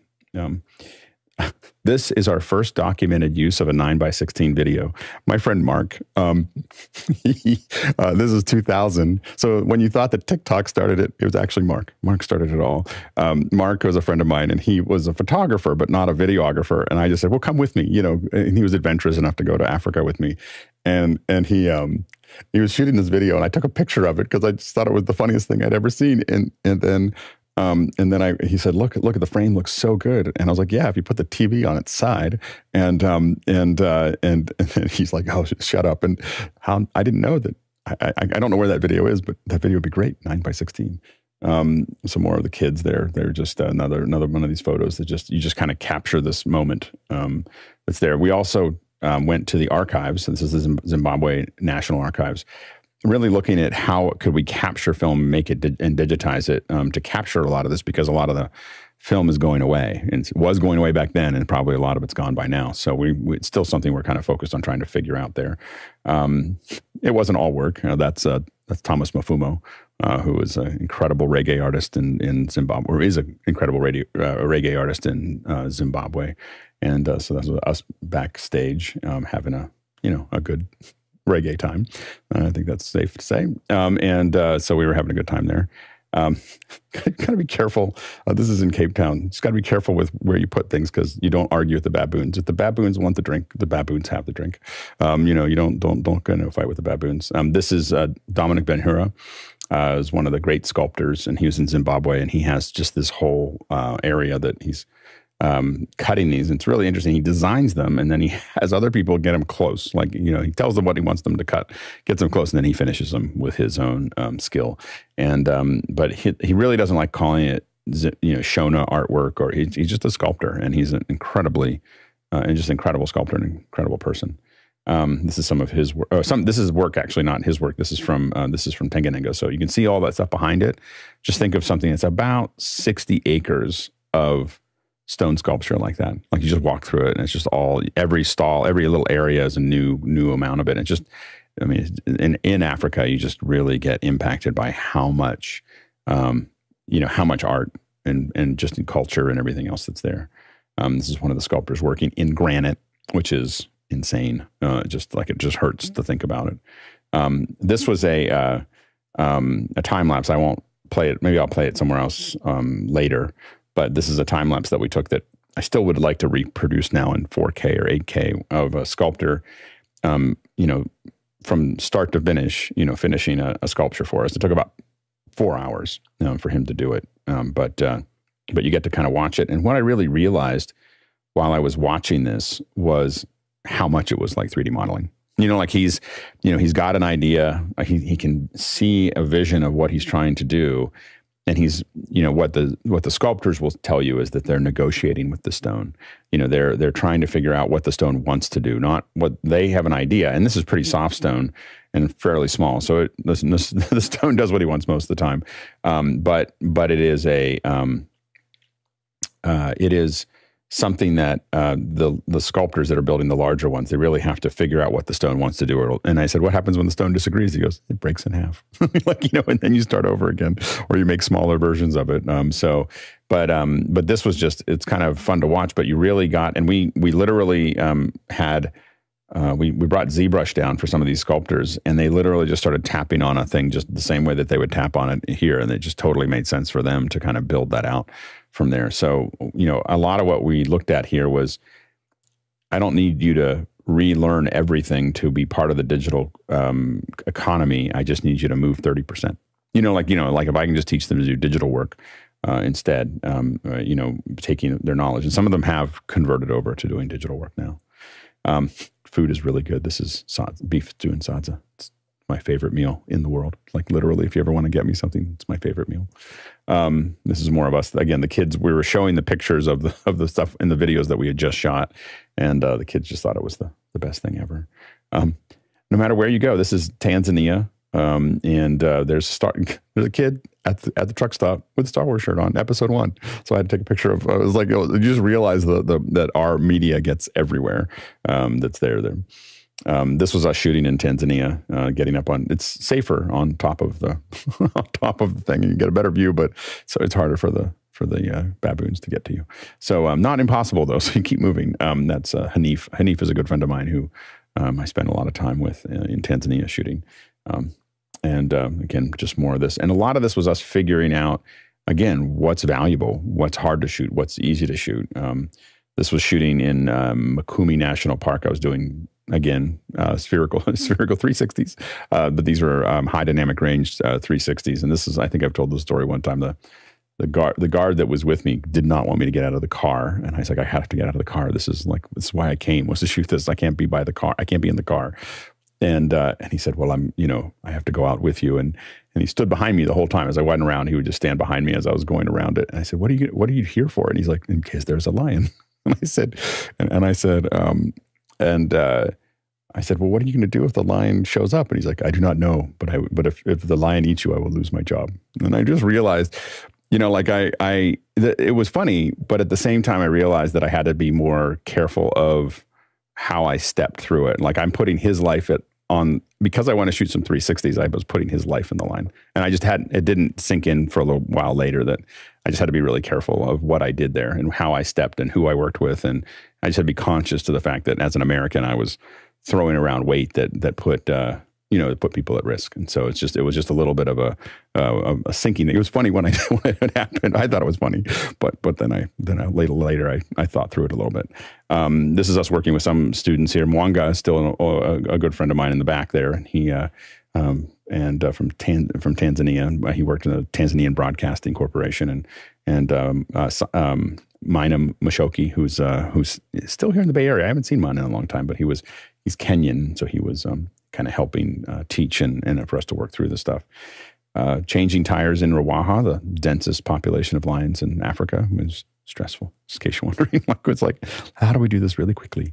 Um, uh, there's no reason to show you this photo other than I was very proud. I got into this thing where I'd spin the camera while I was while we were going by. So we're at like going 80 miles an hour, and he's on a bike. You'll see his feet aren't touching the ground, and so you had to turn at just the right speed to, to not have a lot of motion blur because this is also pretty dark. And I was just very proud of that photo because I caught everything. It means that the rotation was perfect um, to capture that that that sign. Very relaxing here, you know, in Tanzania. Um, not all of it was safari. There's something very surreal about being in Tanzania and playing um, cro- croquet in in in the, in the in the middle of the desert. It's very odd. Um, again, an external shot of uh, Zimbabwe, a great Zimbabwe that I took, and it's just it, it's really an amazing thing. You see how thick those walls are. So it's like air conditioning. The walls are so thick that when you walk through the the edges, they get it gets down to like mid 60s, even though it's 90 degrees outside or 100 degrees outside. It's just you, you just see this ancient engineering that was that was kind of amazing. And even today you can go to Great Zimbabwe and it's pretty much that busy all the time. so it's it's uh, you know, it won't always be that way, you know. And I talked to someone, a friend of mine was like talking about sleeping on the steps in Angkor Wat, you know, in the in the early 90s. Uh, at some point this is all going to turn and you will wish we had gone more often to this to this location. Um, what shifted here was this meeting. So this was a meeting in uh, Washington D.C. Um, I was invited uh, to um, uh, to speak. Um, uh, this is the mixture of the, the Rwandan government put it together. Uh, it's World Bank and a lot of um, scholars talking about how to move Rwandans. So I had done all this other work that you just saw. So that was all stuff that I had to have done. Like this meeting's useless without all the pictures and all the things I just showed you, because I had to be able to, you know, have the the history um, to do it, which I knew that I would never get. No one's ever going to listen to me otherwise. Um, this is uh, um, uh, Pradeep uh, uh, who's uh, head of engineering at Carnegie Mellon. He's the, really the, one of the pinnacle people that that um, brought this together, and uh, there was a lot of crazy experts, and I kind of felt like I didn't belong there, but but I was somehow we raised money, so you know by, by, being there, and we were the one that everyone was talking about afterwards. It, it goes back to having a really good keynote document because everyone else was scholars who put together really heavy, hard to watch keynotes or sometimes one person did a whole presentation in Excel, and um, and uh, I came in with a pretty snazzy um, presentation and ended up with some funding. This is it. This is the this is this is this was our first uh, our first building that we started to work on there. And again, if you have uh, as I'm going through this, if you have questions for either me or Chris, Chris runs uh, ADMA and he's coming in from from Kigali. So if you have questions, go ahead and throw those into Makana. But this is what how it started. Um, this is what it looked like as we started to get going. Um, all Macs um, with uh, we got these. I mean, it was really high end school. It's not just that we had like a little like people think, oh, you have a school in Africa, and they think of like dirt floors and other things like that. And this was a million dollar facility. like it, it, so it's that these are um, literally monitor in motion iPad, you know, things. So they could go through the tutorials with those iPads and just, and this is 2012 and they could sit there and, you know, go through step by step and, and still be able to work on their computer. Um, this is what the first lab, you know, looked like um, as the students started to work. Um, this is the green screen setup. This is a ProCyc with uh, composite components, paint, and you know built the way it, it should be, in my opinion. Um, motion capture, because you know motion capture is cool. So so motion capture uh, here to make sure that again, what we wanted to do is make sure that the students weren't just learning rudimentary things, but they were really getting. We we're preparing them to, or we are preparing them to kind of leapfrog a lot of what we're doing here. Steadicam uh, work here um, jibs, you know, so all the things that you that you would uh, that you'd want to have for a full production. Um, and you know, Chris is here, and I just want to say that there's a couple people that I'll mention here, but this wouldn't happen without him. Like you know, really, this this is not. Uh, I I don't have the temperament for it, to be honest. Um, you know, and I'm crazy, and I got great, great ideas. Chris is the the even keeled, work with the government, manage all the drama, and stick with it for ten years. You know, and so and Chris is. Uh, has been integral to um, to making you know all of this work, and, and it wouldn't exist. It wouldn't have existed more than about a year without without Chris. So um, you know, Chris has been the director since day one. You know, it's funny. I I had always dreamed of moving to to Rwanda, and we got hit with the opportunity to do this and the opportunity to work with Google at the same time. And I thought that, well, the Google thing will last a couple years, then I'll go to Rwanda. Just never, never made the turn. But Chris was able to take advantage of that and get down there and start moving it forward. Uh, this is Chris. This is the this is the first the first classroom, or is this the second one? Is this the this is the first classroom, Chris? I think um, I was designing it and figuring it out. Um, the the uh, first. You know, first classroom from day one, it was designed as a virtual classroom. So, like, we knew in 2012 that we were going to bring people in from around the world to teach at the school. Um, uh, Ryan, Ryan here is um, uh, Ryan Ewell is uh, also been integral to to what we're doing. Uh, and Ryan was not able to be with us today, but but he sent a lot of these photos. Like he he sent this collection of photos. And Ryan was someone I met working with Leo um, in in uh, the lab with Leo in, in Vancouver. And uh, I don't remember how I persuaded Ryan to do something so crazy, but now he's, uh, you know, he's been there also for about uh, 10 years. And uh, he's been there for 10 years. He now has a Rwandan family. He's like, he's, he's embedded, you know, into the, into the, into the culture. So, um, but he's, he's been, um, you know, integral to, and we forced Brian to like, Brian's a video producer and we have him figuring out motion capture, um, teaching, you know, and, this and here's a, this is teaching classes and I'm teaching this class in here. So, you know, we, you know, I was, I went down for, I haven't been down there for a couple years and COVID and then stuff before that, but, but the, um, when we got started, a lot of it was physical and, and putting these uh, and doing these uh, trainings.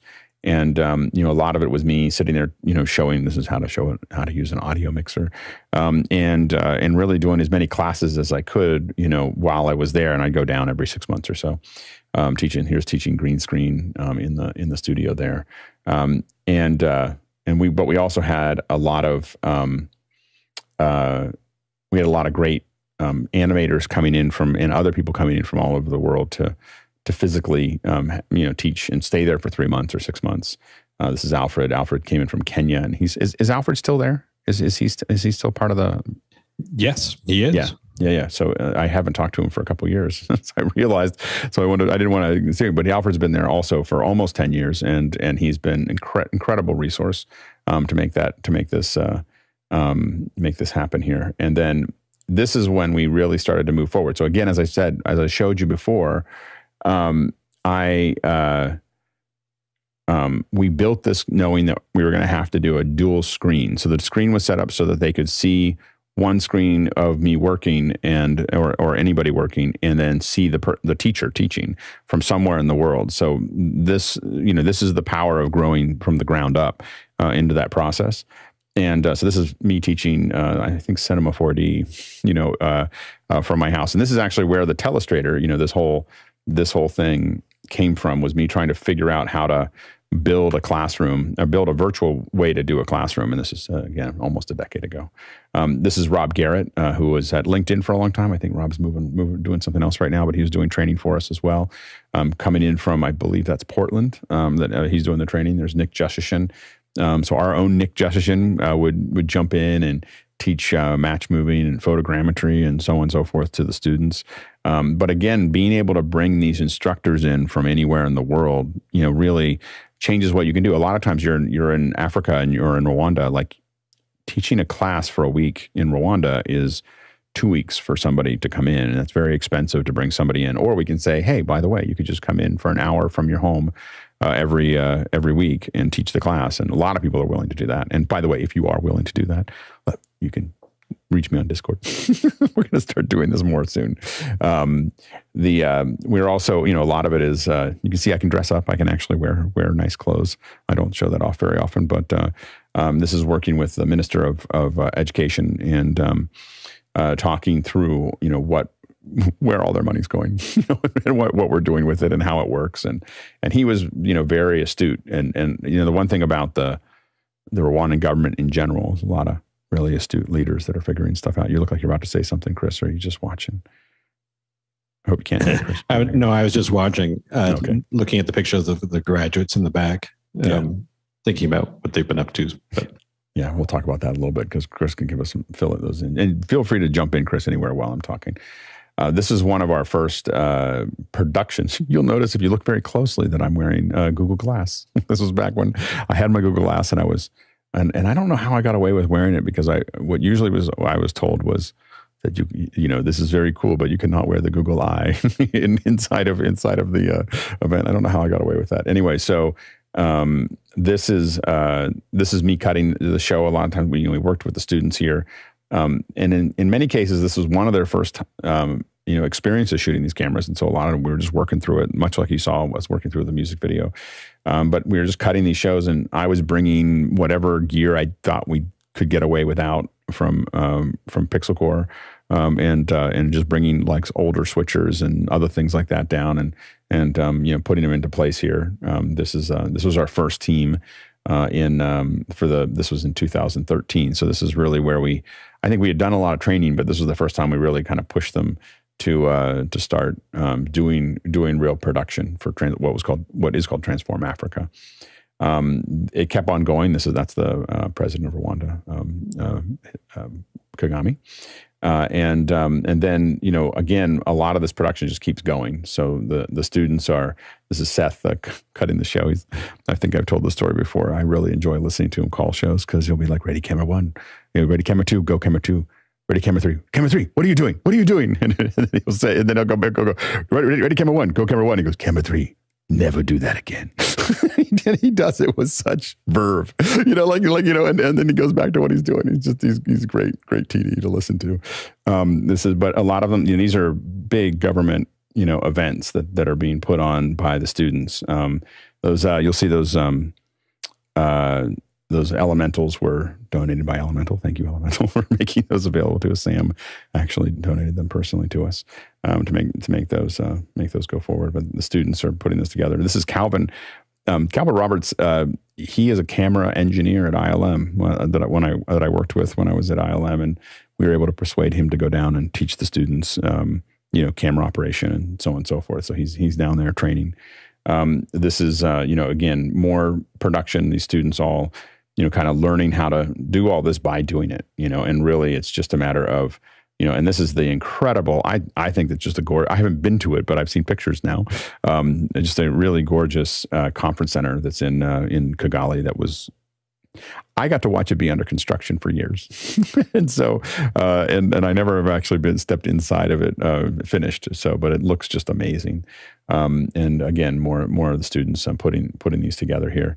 We're also doing a lot of uh, all women intakes. So this is I think I think our first class there that um, that was um, that was part of the, the the production. So really, it's not you know again when we talk about a conversation where no one's left out, it's not just locations, it's people's backgrounds and people and where they're coming from. And so making sure that women are able to tell their own stories in Rwanda and not just men is we, we felt was very important. And so this is our first graduates, um, you know, kind of, uh, you know, getting, you know, coming through that. And we've done a couple intakes now of, um, of, of, all women classes and it, it, and it's been, it's been pretty powerful. Um, you know, and this is, you know, where we're, again, we look at everybody getting an opportunity to do this. And so um, you know, this is uh, some of the um, more of the outreach getting further out than just Kigali into the into it. And you know, we I really look at this as when we get successful out here. You know, when people are watching the content and um, you know anywhere in the country or anywhere in the continent, um, you know that's what we're that's when we're really you know starting to fulfill on what we started on. So anyway, that's the my little slideshow. Hopefully, you guys enjoyed. a lot of it was a lot of it was brand new for me. so so anyway, it was great photos though. I'm really glad Ryan sent those photos out, and we'll get Ryan on at some point to talk about it. And hopefully, um, I'm hoping that it probably won't be this year. We're just in transition, but next year I'm hoping to get down to Kigali and and uh, join all of you from from there. Did you want to add anything to Chris before we started? We jump into the questions. Um, just a couple quick things. Um, you were briefly on the shot. You briefly had a shot of um, our live stream for Kwibuka 20 um, from Amahoro Stadium, which was our first large large scale shoot. We there was a 12 camera shoot, and and this isn't hyperbole. That's it. Yeah, the most terrifying experience of my life. We um, we we this we had uh, it was a big ceremony because it was a you know the twentieth um, anniversary, and um, so there are all these VIPs visiting. So security was extremely high, and we had never attempted a twelve camera shoot before. So um, we had security up our asses. Oh, sorry, security, um, security going over our, our equipment uh, in fine detail, and and then arriving on the day of the shoot to find that uh, a final sweep with dogs have been done, which knocked down all the walls and tipped over some tables with gear on it. And we had about 45 minutes to get the gear all reassembled and discovered uh, fiber optic cable wasn't working. And we had the office of the president leaning over our shoulders saying, you know, you must make this happen. Failure is not an option. so, Rwandans don't take failure very well. yeah. yeah. Um, I was quite relieved when that was done. Um, and then the funny thing now is we hardly do any live streaming anymore because we train so many people. And so it's a, it's a thriving cottage industry here. The um, which didn't um, I don't think really existed when we got there.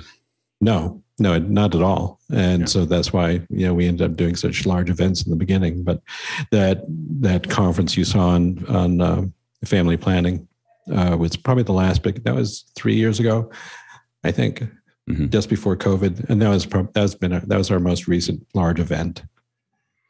Yeah, and and it you know I think that um, it really speaks to that a lot of people are doing live streaming because there's enough people to make it successful you know and i think that that was you know, a lot of us know how many live streams go down, and by building up a large group of people that actually knew how to do it, it really built an industry that didn't that wouldn't exist without it. I don't think. I mean, I think that you know, you, when people started to see real quality, I think it made a difference. You know, in, in what Yeah. people thought was possible.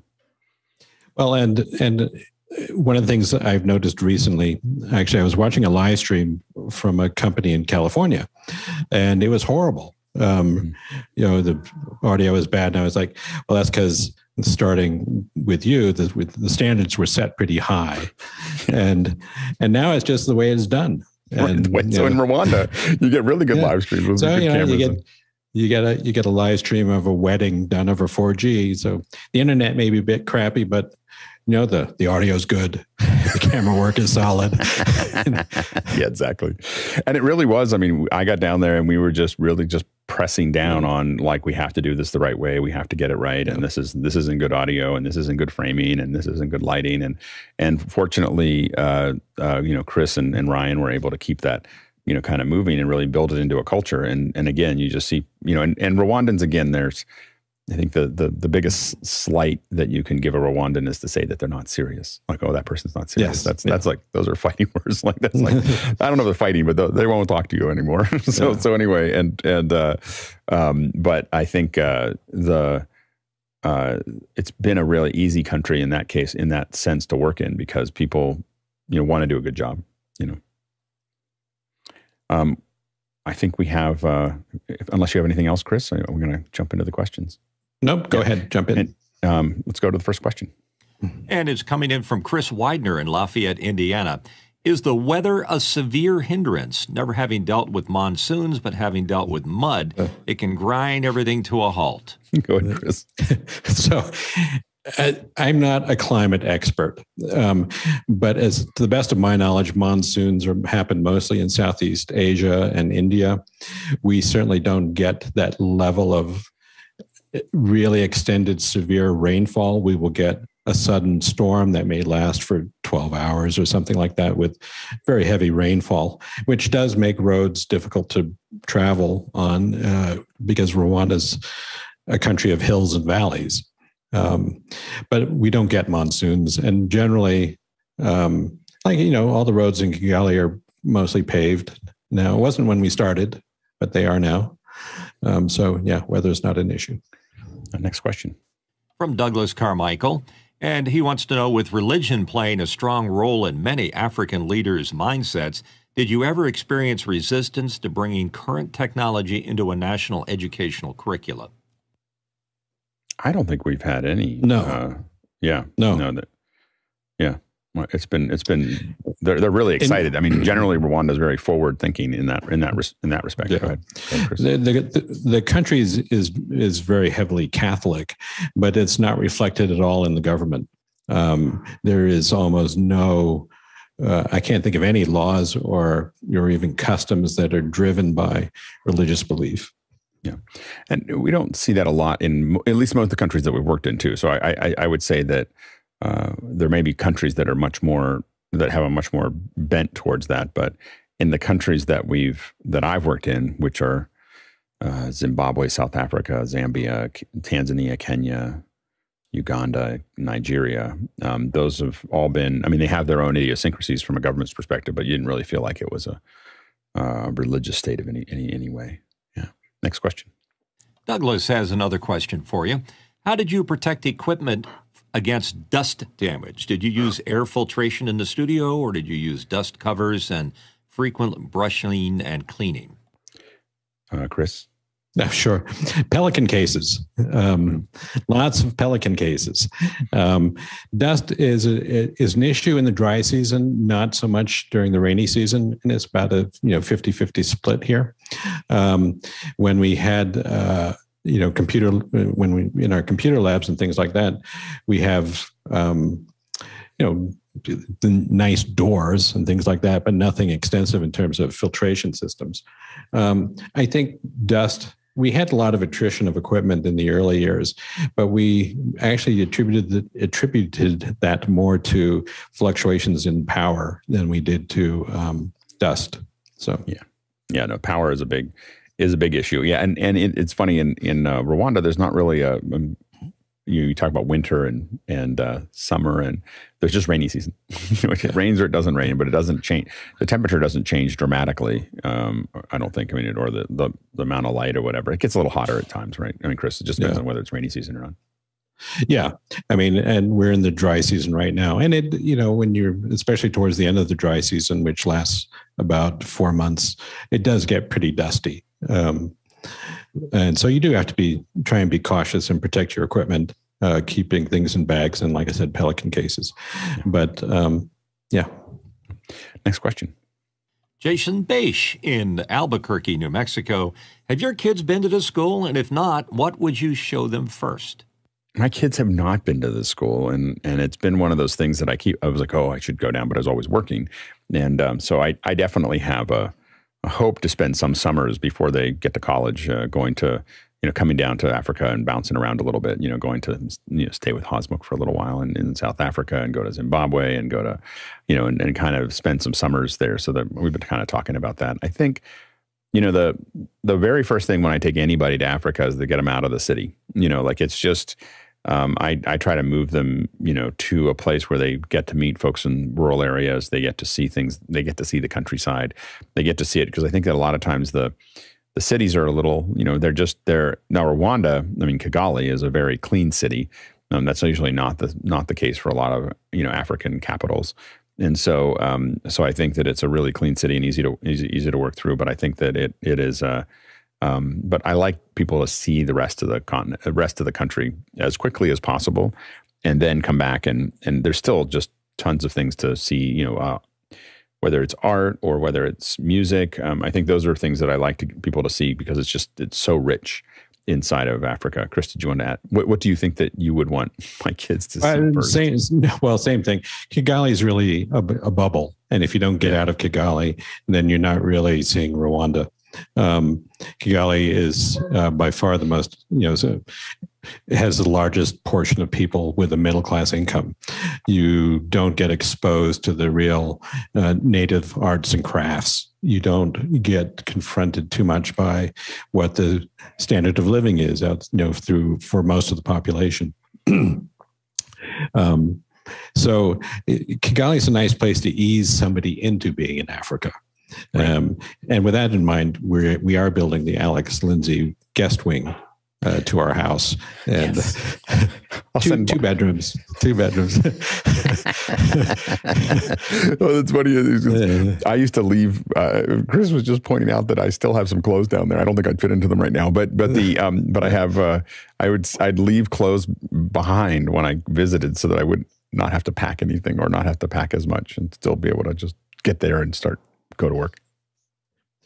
and I, and it was very tempting to open that suitcase. I have, I left it alone. Go ahead, Mitchell. Hi, uh, first of all, Christopher, thanks for joining us. Uh, this is fascinating, and watching the uh, the slideshow that you did, Alex, it gives me a feel. First of all, everybody that you showed in those pictures, unless you were being picky about it, seemed to be having a great time. There's a lot of smiles on faces and appreciation.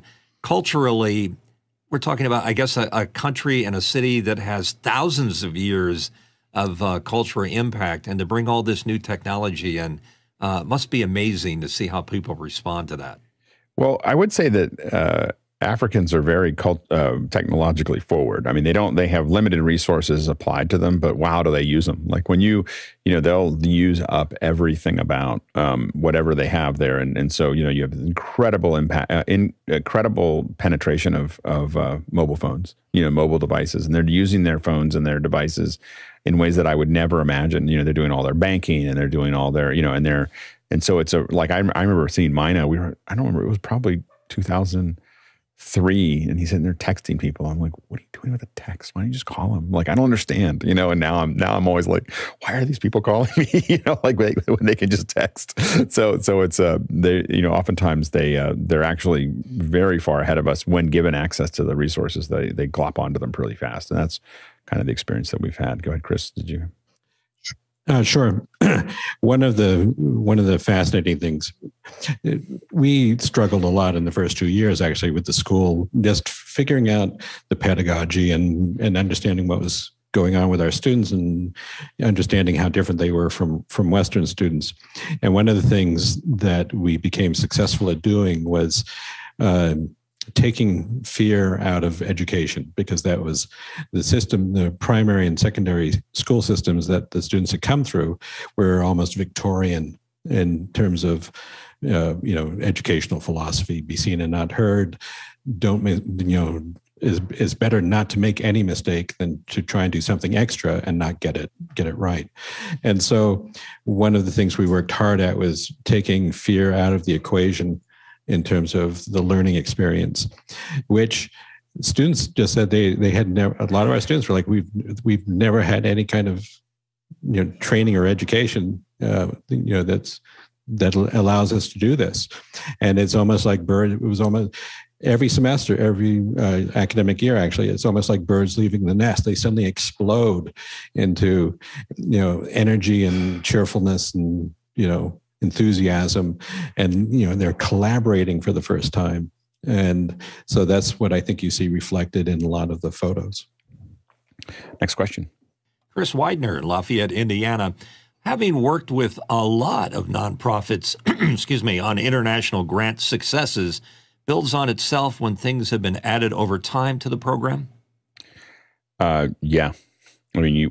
The hardest part is just con- continuing to move forward. you know, like it's, it gets, it, you know, it it is always going to be a bit of a, a, process. You know, it's you're using somebody else's money. You you you have to keep on making sure that it's useful for them. Um, and I think that you definitely keep on uh, if you're doing it well, you're building up a network that of people who want to keep on having you do what you're doing. You know, go ahead, Chris.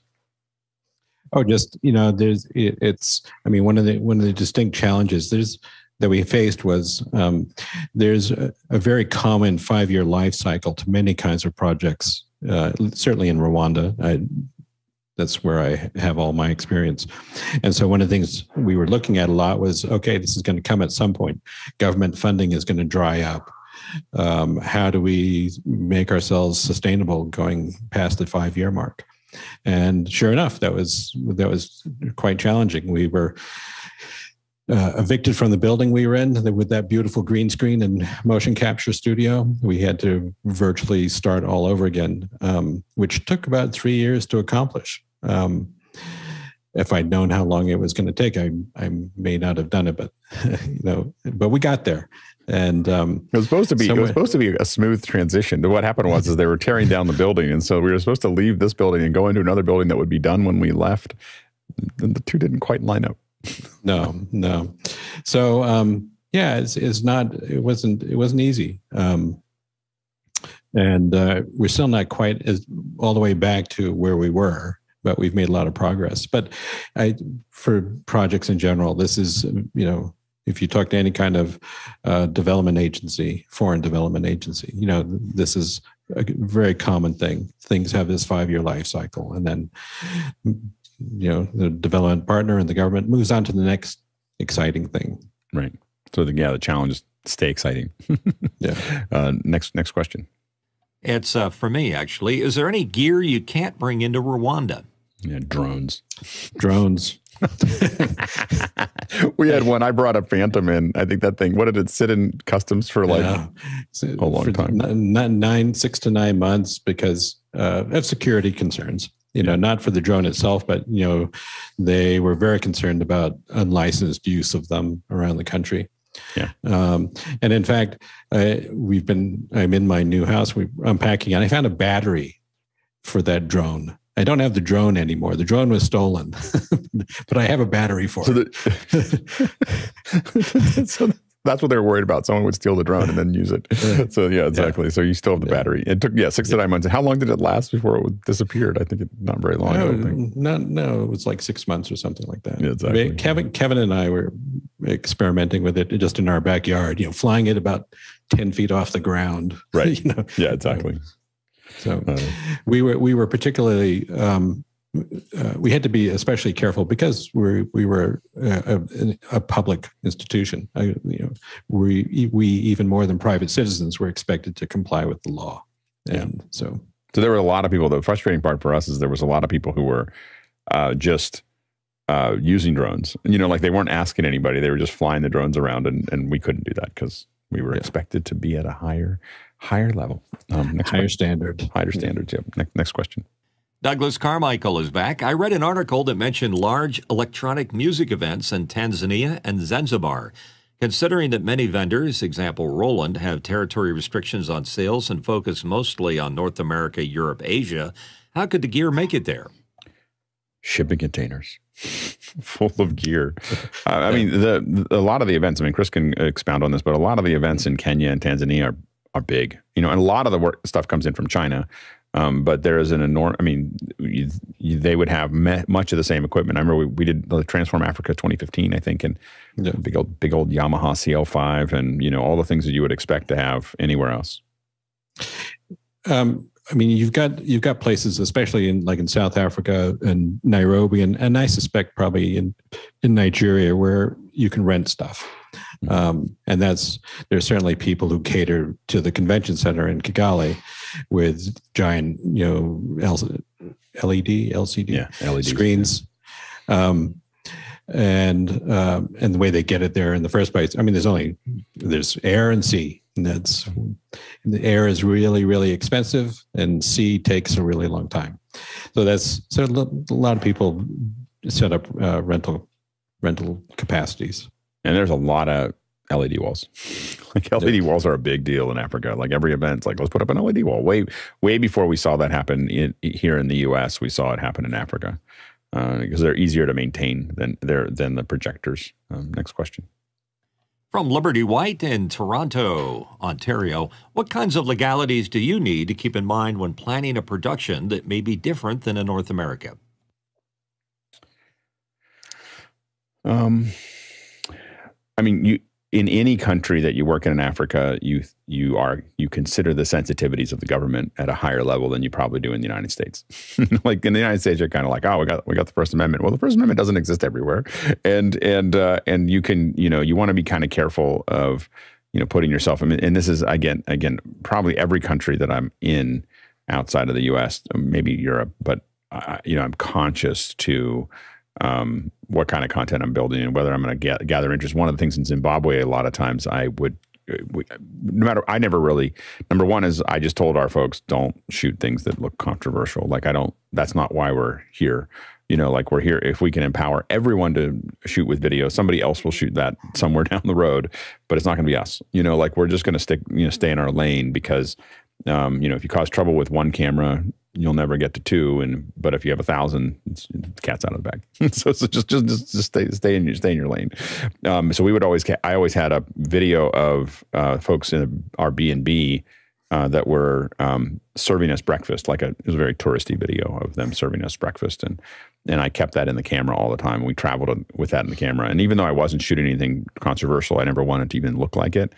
So we, every once in a while, you get a stop in Zimbabwe. They go, "Hey, I need you to see. I need to see the camera because you know I'm Zungu. And Zungu is kind of the general term for white person. I think I think it's Swahili for wandering aimlessly, which is probably what we looked at Yes, looked like yeah. when we got there. So so anyway, so the um, uh, so uh, so you know Zungu gets pulled over, and you're like, okay, I need to see the camera. You open it up, and they see this like touristy video, and they go, okay, you can go.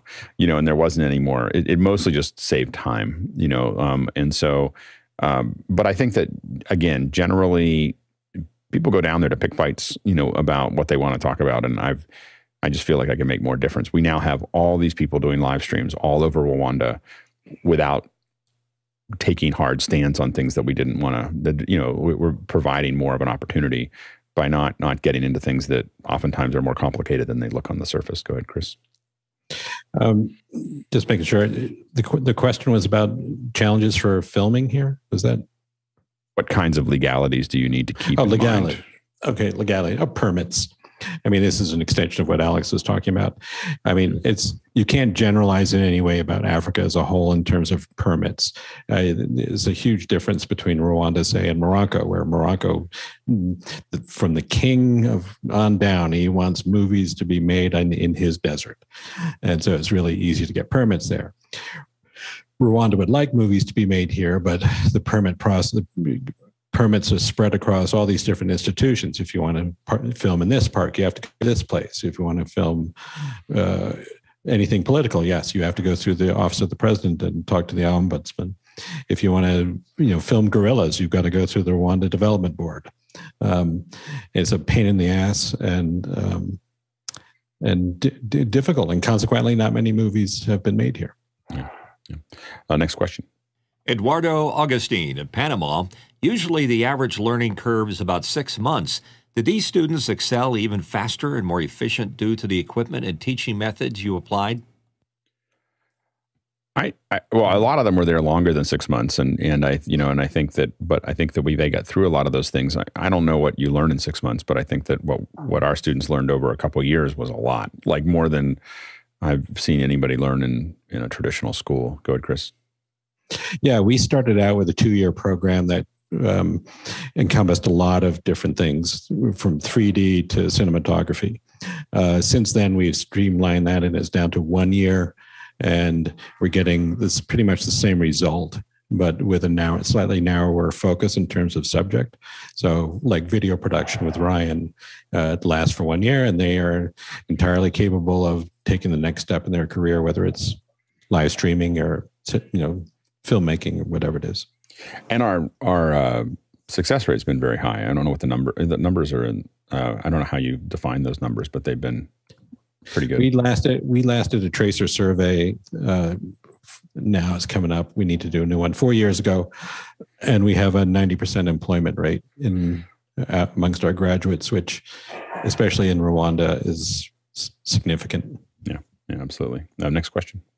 Rupert Trebek from Sydney, Australia. How was funding organized in these projects? Was it only government based, or were you able to use the studio space for commercial work to make it self sufficient? All right. Go ahead, Chris. A combination of both. Certainly, the project couldn't have gotten started without very significant government support. Um, we probably government probably invested around a million dollars in building out the studios and getting the equipment in the in the early days. Since then, um, the, the notion of having a production unit that works as a commercial entity is actually something that we did somewhat informally uh, along the way, which is now becoming a formal thing. Uh, and I'm not worth going into all the details and challenges there, but that's been something we're having to navigate inside approved government you know, procedures for you know, the use of government purchased equipment. Um, but yeah, we that's a specific goal is to support the school and a lot production. of and a lot of it is is that we're you know, we're, we're, in some ways we're putting ourselves out of a business because we're constantly training people that can do what we're doing. You know, what we're making those services um, for. But that is the goal. I mean, we're we try to get people on hands-on work as fast as possible. We want to get them out of the classroom and into the field as as quickly as we can to make sure that they're they're really learning from doing it. Uh, next question. Lenny Nelson from San Antonio, Texas. What kind of professional career progression have your students had after completing your programs? Christy, one. Sure. Um, it's quite varied. Um, one of our graduates is probably the most successful director of music videos, and he's filmed in places ranging from Dubai to um, Cape Town. And, and, he's you know really done. I mean, done far more than we ever taught him. Um, he's really done well. We but he have, did well with all the equipment. Like he was constantly yeah, doing these music videos around the school. Yeah, he's great. Yeah. Um, Cedric is an amazing guy. And then, um, uh, you know, and then like there's a guy who just before COVID started, he um, he uh, got a scholarship to study continuous studies in Toronto, and now he's a big live streaming guy there. And um, the uh, I think a, a, lot of what we've been successful at is giving people not always the, the explicit skills to do something, but rather the capacity to keep on developing their skills once they leave the school. Yeah, you can also um, see what a lot of them are doing at at Facebook uh, on ADMA Rwanda. Uh, you can see the website is ADMA Rwanda as well. But if you go to Facebook, um, Ryan just posted that in the in the chat. Hi, Ryan. Uh, next question. From Hasmut Gajar in Cape Town, South Africa, Rwanda Digital School appears to be successful and sustainable. What does it take to scale or replicate into additional countries governments on their own are not able to achieve on their own? You know, we've we've been committed to this for years, and we really look at wanting to build a um, I, I, you know, for us, mostly be we just we're so busy keeping this one going that it hasn't. You know, there's been discussions about expanding it um, across the continent.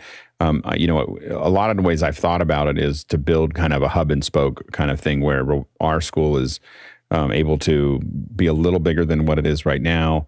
We then have satellites that are that that's how they start um, in different countries, and then some of those satellites build up to, into their own hubs, and then you kind of you know we we would love to get out where the you could there'd be four computers in a village somewhere, and people are learning some of the basic stuff and watching some of the bits and pieces, and then you know eventually ending up in in one of the larger um, hubs.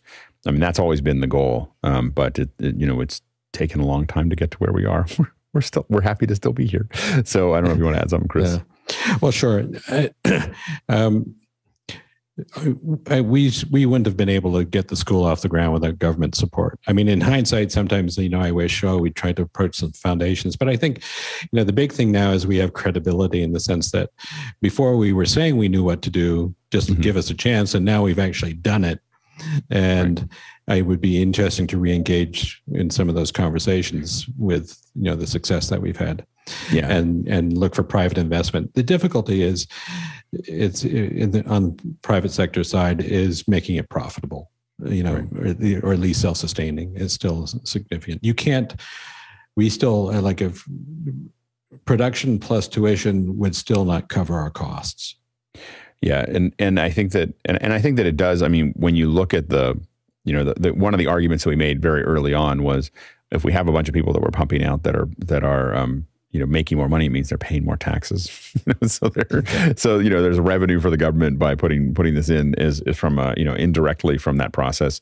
And i think that uh, the one thing that we talk about a lot with governments and with organizations is that media ex- is an accelerator for everything around it. It's like you know, so if it's if you look at the live streams and the video production that our students do, it's empowering tourism, it's empowering government, it's empowering um, you know local businesses, it's empowering education, it's empowering all those things because it helps move all of those forward. It's not that it empowers one sector; it, it empowers lots of different sectors, and so um, it's definitely something. And that was the goal all you know from from day one. It was to use it as an economic uh, stimulus for many many sectors as opposed to just one sector. And so so that was you know I think that we're definitely interested in it. We you know, one of the hard parts I will admit that even the Rwandan government had a hard time with is that I'm I'm very uh, uh, resistant to um, uh, to curriculum. so so I I kind of feel like you know we should be dancing with what's necessary and figuring out what's there and and building having classes and building stuff, but building these long like two two year things, I was like, it's going to be obsolete by the time we get there, you know. And and so there's been a lot of you know wanting to you know, and our and I think that until we until we did the testing of the success of the school, I think that I you know I think that until we showed that a lot of our students were getting hired and, and being successful, I think that was it was hard for them to get their head around that that process because a lot of people come out of academia and they're kind of um, limited in their view of how people learn. Um, I know that sounds crazy, but academia is kind of a hard place for people to learn how to teach. so, so anyway, um, or for, when people when you're actually teaching skills and you're actually going, okay, I'm going to have these people. I don't need them to be theoretically smart. I need them to actually be able to execute something. Is is a different is a different puzzle. You're going to say something, Chris? Uh, just one of the rewarding things is. Um, in a sense, we've the example that we set is now sort of percolating into education in different ways. Um, so ADMA is part of a larger institution called Rwanda Polytechnic. And the vice chancellor of Rwanda Polytechnic has stopped by our classes a couple times, and, and on both occasions, like this is what all classes, all of our vocational classes should be like. Right. You know, how can we do this? And um, um, some stuff to pass on to you, Alex, later. But yeah. So you know, and, and again, I think that that we're we're hope when COVID hit, our students in the school we're just deep in video production. You know, like how do we turn all, how do we get all these classes, you know, online? And I think that that's where we want to keep on moving forward with what we're doing. Uh, next question. Al Trevette in Carmichael, California. What kind of opportunities do the students have after they graduate? Go ahead, Chris. Well, um, I mean, it's it's the regular array of you know there's a number of TV you know the obvious ones are television stations you know, and, and, studios are here. Everybody's getting into music, so there's lots of opportunities around the music industry. Um, emerging ones are sports broadcasting is something I'm trying to sort of get a better understanding of because yeah. there's there's a big jump in organized uh, athletic leagues here for cricket and basketball and things like that. Um, we're looking at wildlife filmmaking um, because that's uh, something that's very interested, you know, and very uh, appealing to to people. And another one that I'm really pushing on is actually video production for e-learning. Yeah. Because that's uh, something that's really emerging, uh, particularly around the notion that um, schools and universities in Africa would rather have content that reflects that reflects the, their their their faculty, their students, you know, homegrown content rather than um, packaged content from the West. Yeah, absolutely, and in local language in some cases, uh, so that you know, especially when you start talking about um, the O levels, you know, out in the rural areas, you really need to still be able to do it in Kinyarwanda. Uh, next question. Hasma Kajar from Cape Town, South Africa.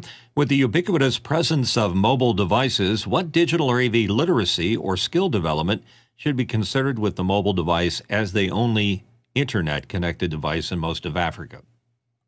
Well, in some ways, uh, you know, Rwanda has more of this than a lot of other countries um, as far as that goes. I think that, and we've done some, uh, you know, I think that uh, I don't know about the a, the skill development has been in a lot of different sectors, but we've done some education stuff that's really designed for that sector, or at least for broadcast, right, Chris? Yeah, I, I've actually been getting more and more involved with digital education in Rwanda, and one of the things that gets talked about a lot is you know de- delivery via smartphone, and the aid agencies are all in the, you know, targeting smartphones as as the way to distribute uh, you know educational content. The problem there is the cost of data um, and then also the actual quality of the smartphone. Everybody's got phones, but there are these smartphones that cost the equivalent of about sixty dollars um, from China or something like that. And the penetration as you move away from the cities gets drops dramatically. Um, so then you're also having to figure out, you know, who's my target audience and is the smartphone assumption really relevant for them? As we develop uh, I I co-wrote actually the the formal government policy on e-learning uh, for Rwanda, and we've actually moved away from smartphones and uh, focusing more on creating uh, sort of academic versions of cyber cafes. Yeah, I can go into a lot more detail, but that's another, we'll do another second hour. We'll talk yeah. about that. Yeah, but yeah, I mean, I think that that's the thing that we found is that being able to provide a centralized location because the government, the one thing that, that they we do have is fiber. You know, so there's fiber in a lot of the country. The problem is is that it's so ubiquitous that oftentimes the the service by the time it gets to the end end person is low because they, they made it very inexpensive to use, you know, and so um, so it's it, it, it's a little bit difficult, but the government still has some of those pipes, and so being able to have like that cyber cafe, as Chris talked about, also radio and TV are important because a lot of people have them, you know, and it's you're not paying for data to, to distribute, um, you know, for people to listen to a radio station or watch a TV um, show. So there's other play other ways to distribute that that knowledge out as well. Next question. Douglas Carmichael is back. Have you ever thought of partnering with local musicians to teach them electronic music production techniques and market their music? I could see this having both positive cultural and economic effects if you do it right. I have to say that a lot of the there's a lot of artists in, in, in Rwanda that already know how to use the tools. Yeah, so there's nothing I I can teach them. Yeah, yeah. in, in really Kigali, good. anyway. Yeah you know the ones that want to do electronic music there's there's some great schools actually in Kigali for for this kind of this kind of stuff. Go ahead Chris. No there is a, a specific music school. And honestly you know there's enough technology available um, and you know how young people are with that. They've uh, they've run with it as far as they can. They know how to uh, squeeze every last drop out of what they have available. Um, so yeah n- nothing for us to offer there. Yeah. No, next question Al Trevette from Carmichael, California. What are the greatest misconceptions about working in Africa? I would say that the greatest one is that everyone thinks that it's really dangerous, and it's you know, I mean, I'm not saying that it, that you don't have to pay attention, but I don't find it to be any. I don't find well, especially Rwanda. I definitely don't find it to be any more threatening than New York City. you know, so so uh, or lots lots of parts of LA and definitely San Francisco. So so I don't I don't think that.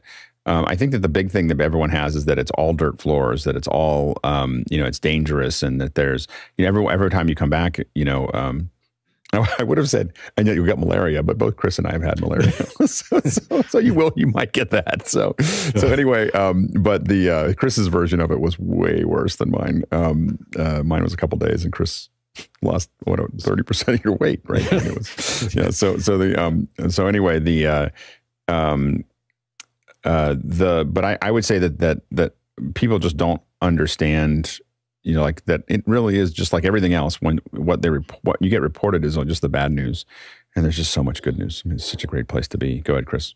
Yeah. I just, you know, one of the things, and this was for me as well, even though I was familiar with Africa, is the the Mercator projection uh, distorts our perception of just how big Africa is. Yeah. We're talking about an area that's three times the size of the continental United States. It's it's it's a mistake to homogenize the African experience because yeah. what you get in South Africa is vastly different from what you get in Nigeria or Egypt. Um, but just to reinforce. Oh, lost Chris there for a second. But to keep on while while Chris is, we'll see what happens there. there but uh, um, we pushed it just a little too far. I was going, his connection is working so well. Um, anyway, the uh, uh, yeah, I think that as Chris was talking about, that it, it is every African country is very different. So saying that I am uh, that it's like Africa, it is you know every country is very very different and more different in in many ways than even um, you know every country is is more different than most countries in like Europe from each other or from whatever because they're there's not a lot there hasn't been a lot of you know travel and so on and so forth. But it's also very westernized in some cases because a lot of people watch western western 80s tv shows because they're cheap to put on air. You see a lot of that.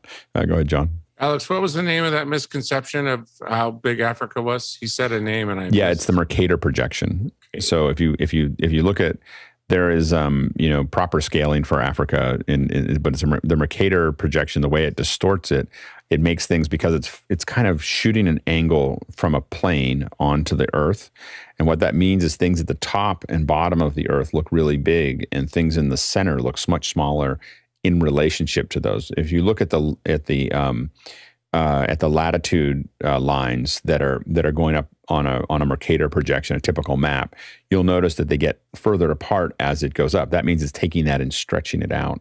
Um, you know, as opposed to just having it. So when you compact that back, you get a more accurate view of how big countries are in relation to them. Like, you know, the Soviet Union is not nearly as large as it looks. Greenland is not nearly as large as it looks. Um, and Africa is a lot bigger than it looks. Go ahead. You, were, uh, we, we, you got interrupted, Chris, there by a short dropout. Yep. I, I had to switch routers. um, um, yeah. If you just Google um, Africa map, uh, Greenland or something like that, you'll find somewhere, you'll find a, a really fun illustration of just like, you know, like Greenland fits inside the Congo in terms of yeah. square miles. Yeah. But if you look at the Mercator projection, it looks like it's close to the same size. And and you can find other kind of fun maps that illustrate, you know, yeah. how perception has been is, is incorrect. And, and then I just I just have to say that I'm always amazed. People get scared away from Africa for whatever reason, and it's just such an amazing. Like in in many um, um, every city that I've been in, I've had kind of a magic. I mean, every country that I've been in. I've had some magical experience there that was just something that I don't think I could have uh, anywhere else in the world. Um, yeah. Next question. Oh, you're going to say one more thing, Chris? Oh, just you know, the, and this this perception of Africa is extremely common. Uh, friends back home who are very well educated seem to think I have zebras walking through my backyard or something like that. You know, and it's it's very, it's very civilized. Yeah, only only in that only in the summer. so anyway, so that yeah, so you know, and, and I think that again, as someone who works in Africa, you have a hard time reading like things like The Economist are hard to read. If you the, the the African section, The Economist, I always like. I like I read The Economist a lot or listen to it now, and there's a lot of me rolling my eyes like, oh right, that's such an English thing to say. so, so, so anyway, there's a lot of post colonial uh, uh, arrogance that that gets kind of um, washed across the continent that doesn't help it. Um, next- Well, and as far as distortions are concerned, I was in college before I saw a map that was like even close to accurate. It's kind of nuts. There's a story I'm not going to put on YouTube about that. Next question. Douglas Carmichael, how do you connect ADMA graduates to employers that want to hire them? Do you target employees or employers in Africa or farther afield? I I don't. Do we target Um, anyone other than they're, they're, they're, they're, No, all, no. they're all causing trouble and people. I- they're, they're, it's just the place to go to get them. No, I mean we we have the benefit now of some longevity where um, when and I'm saying this with I'm trying with as little arrogance as possible. um, we we have a good enough reputation that uh, just if, when employers hear that somebody has an ADMA certificate, they um, you know they are already treated favorably. Yeah. I little quick little story. I, I wandered into an elevator for a company called I, I it must be big because they own a whole building in Kigali called Infinix.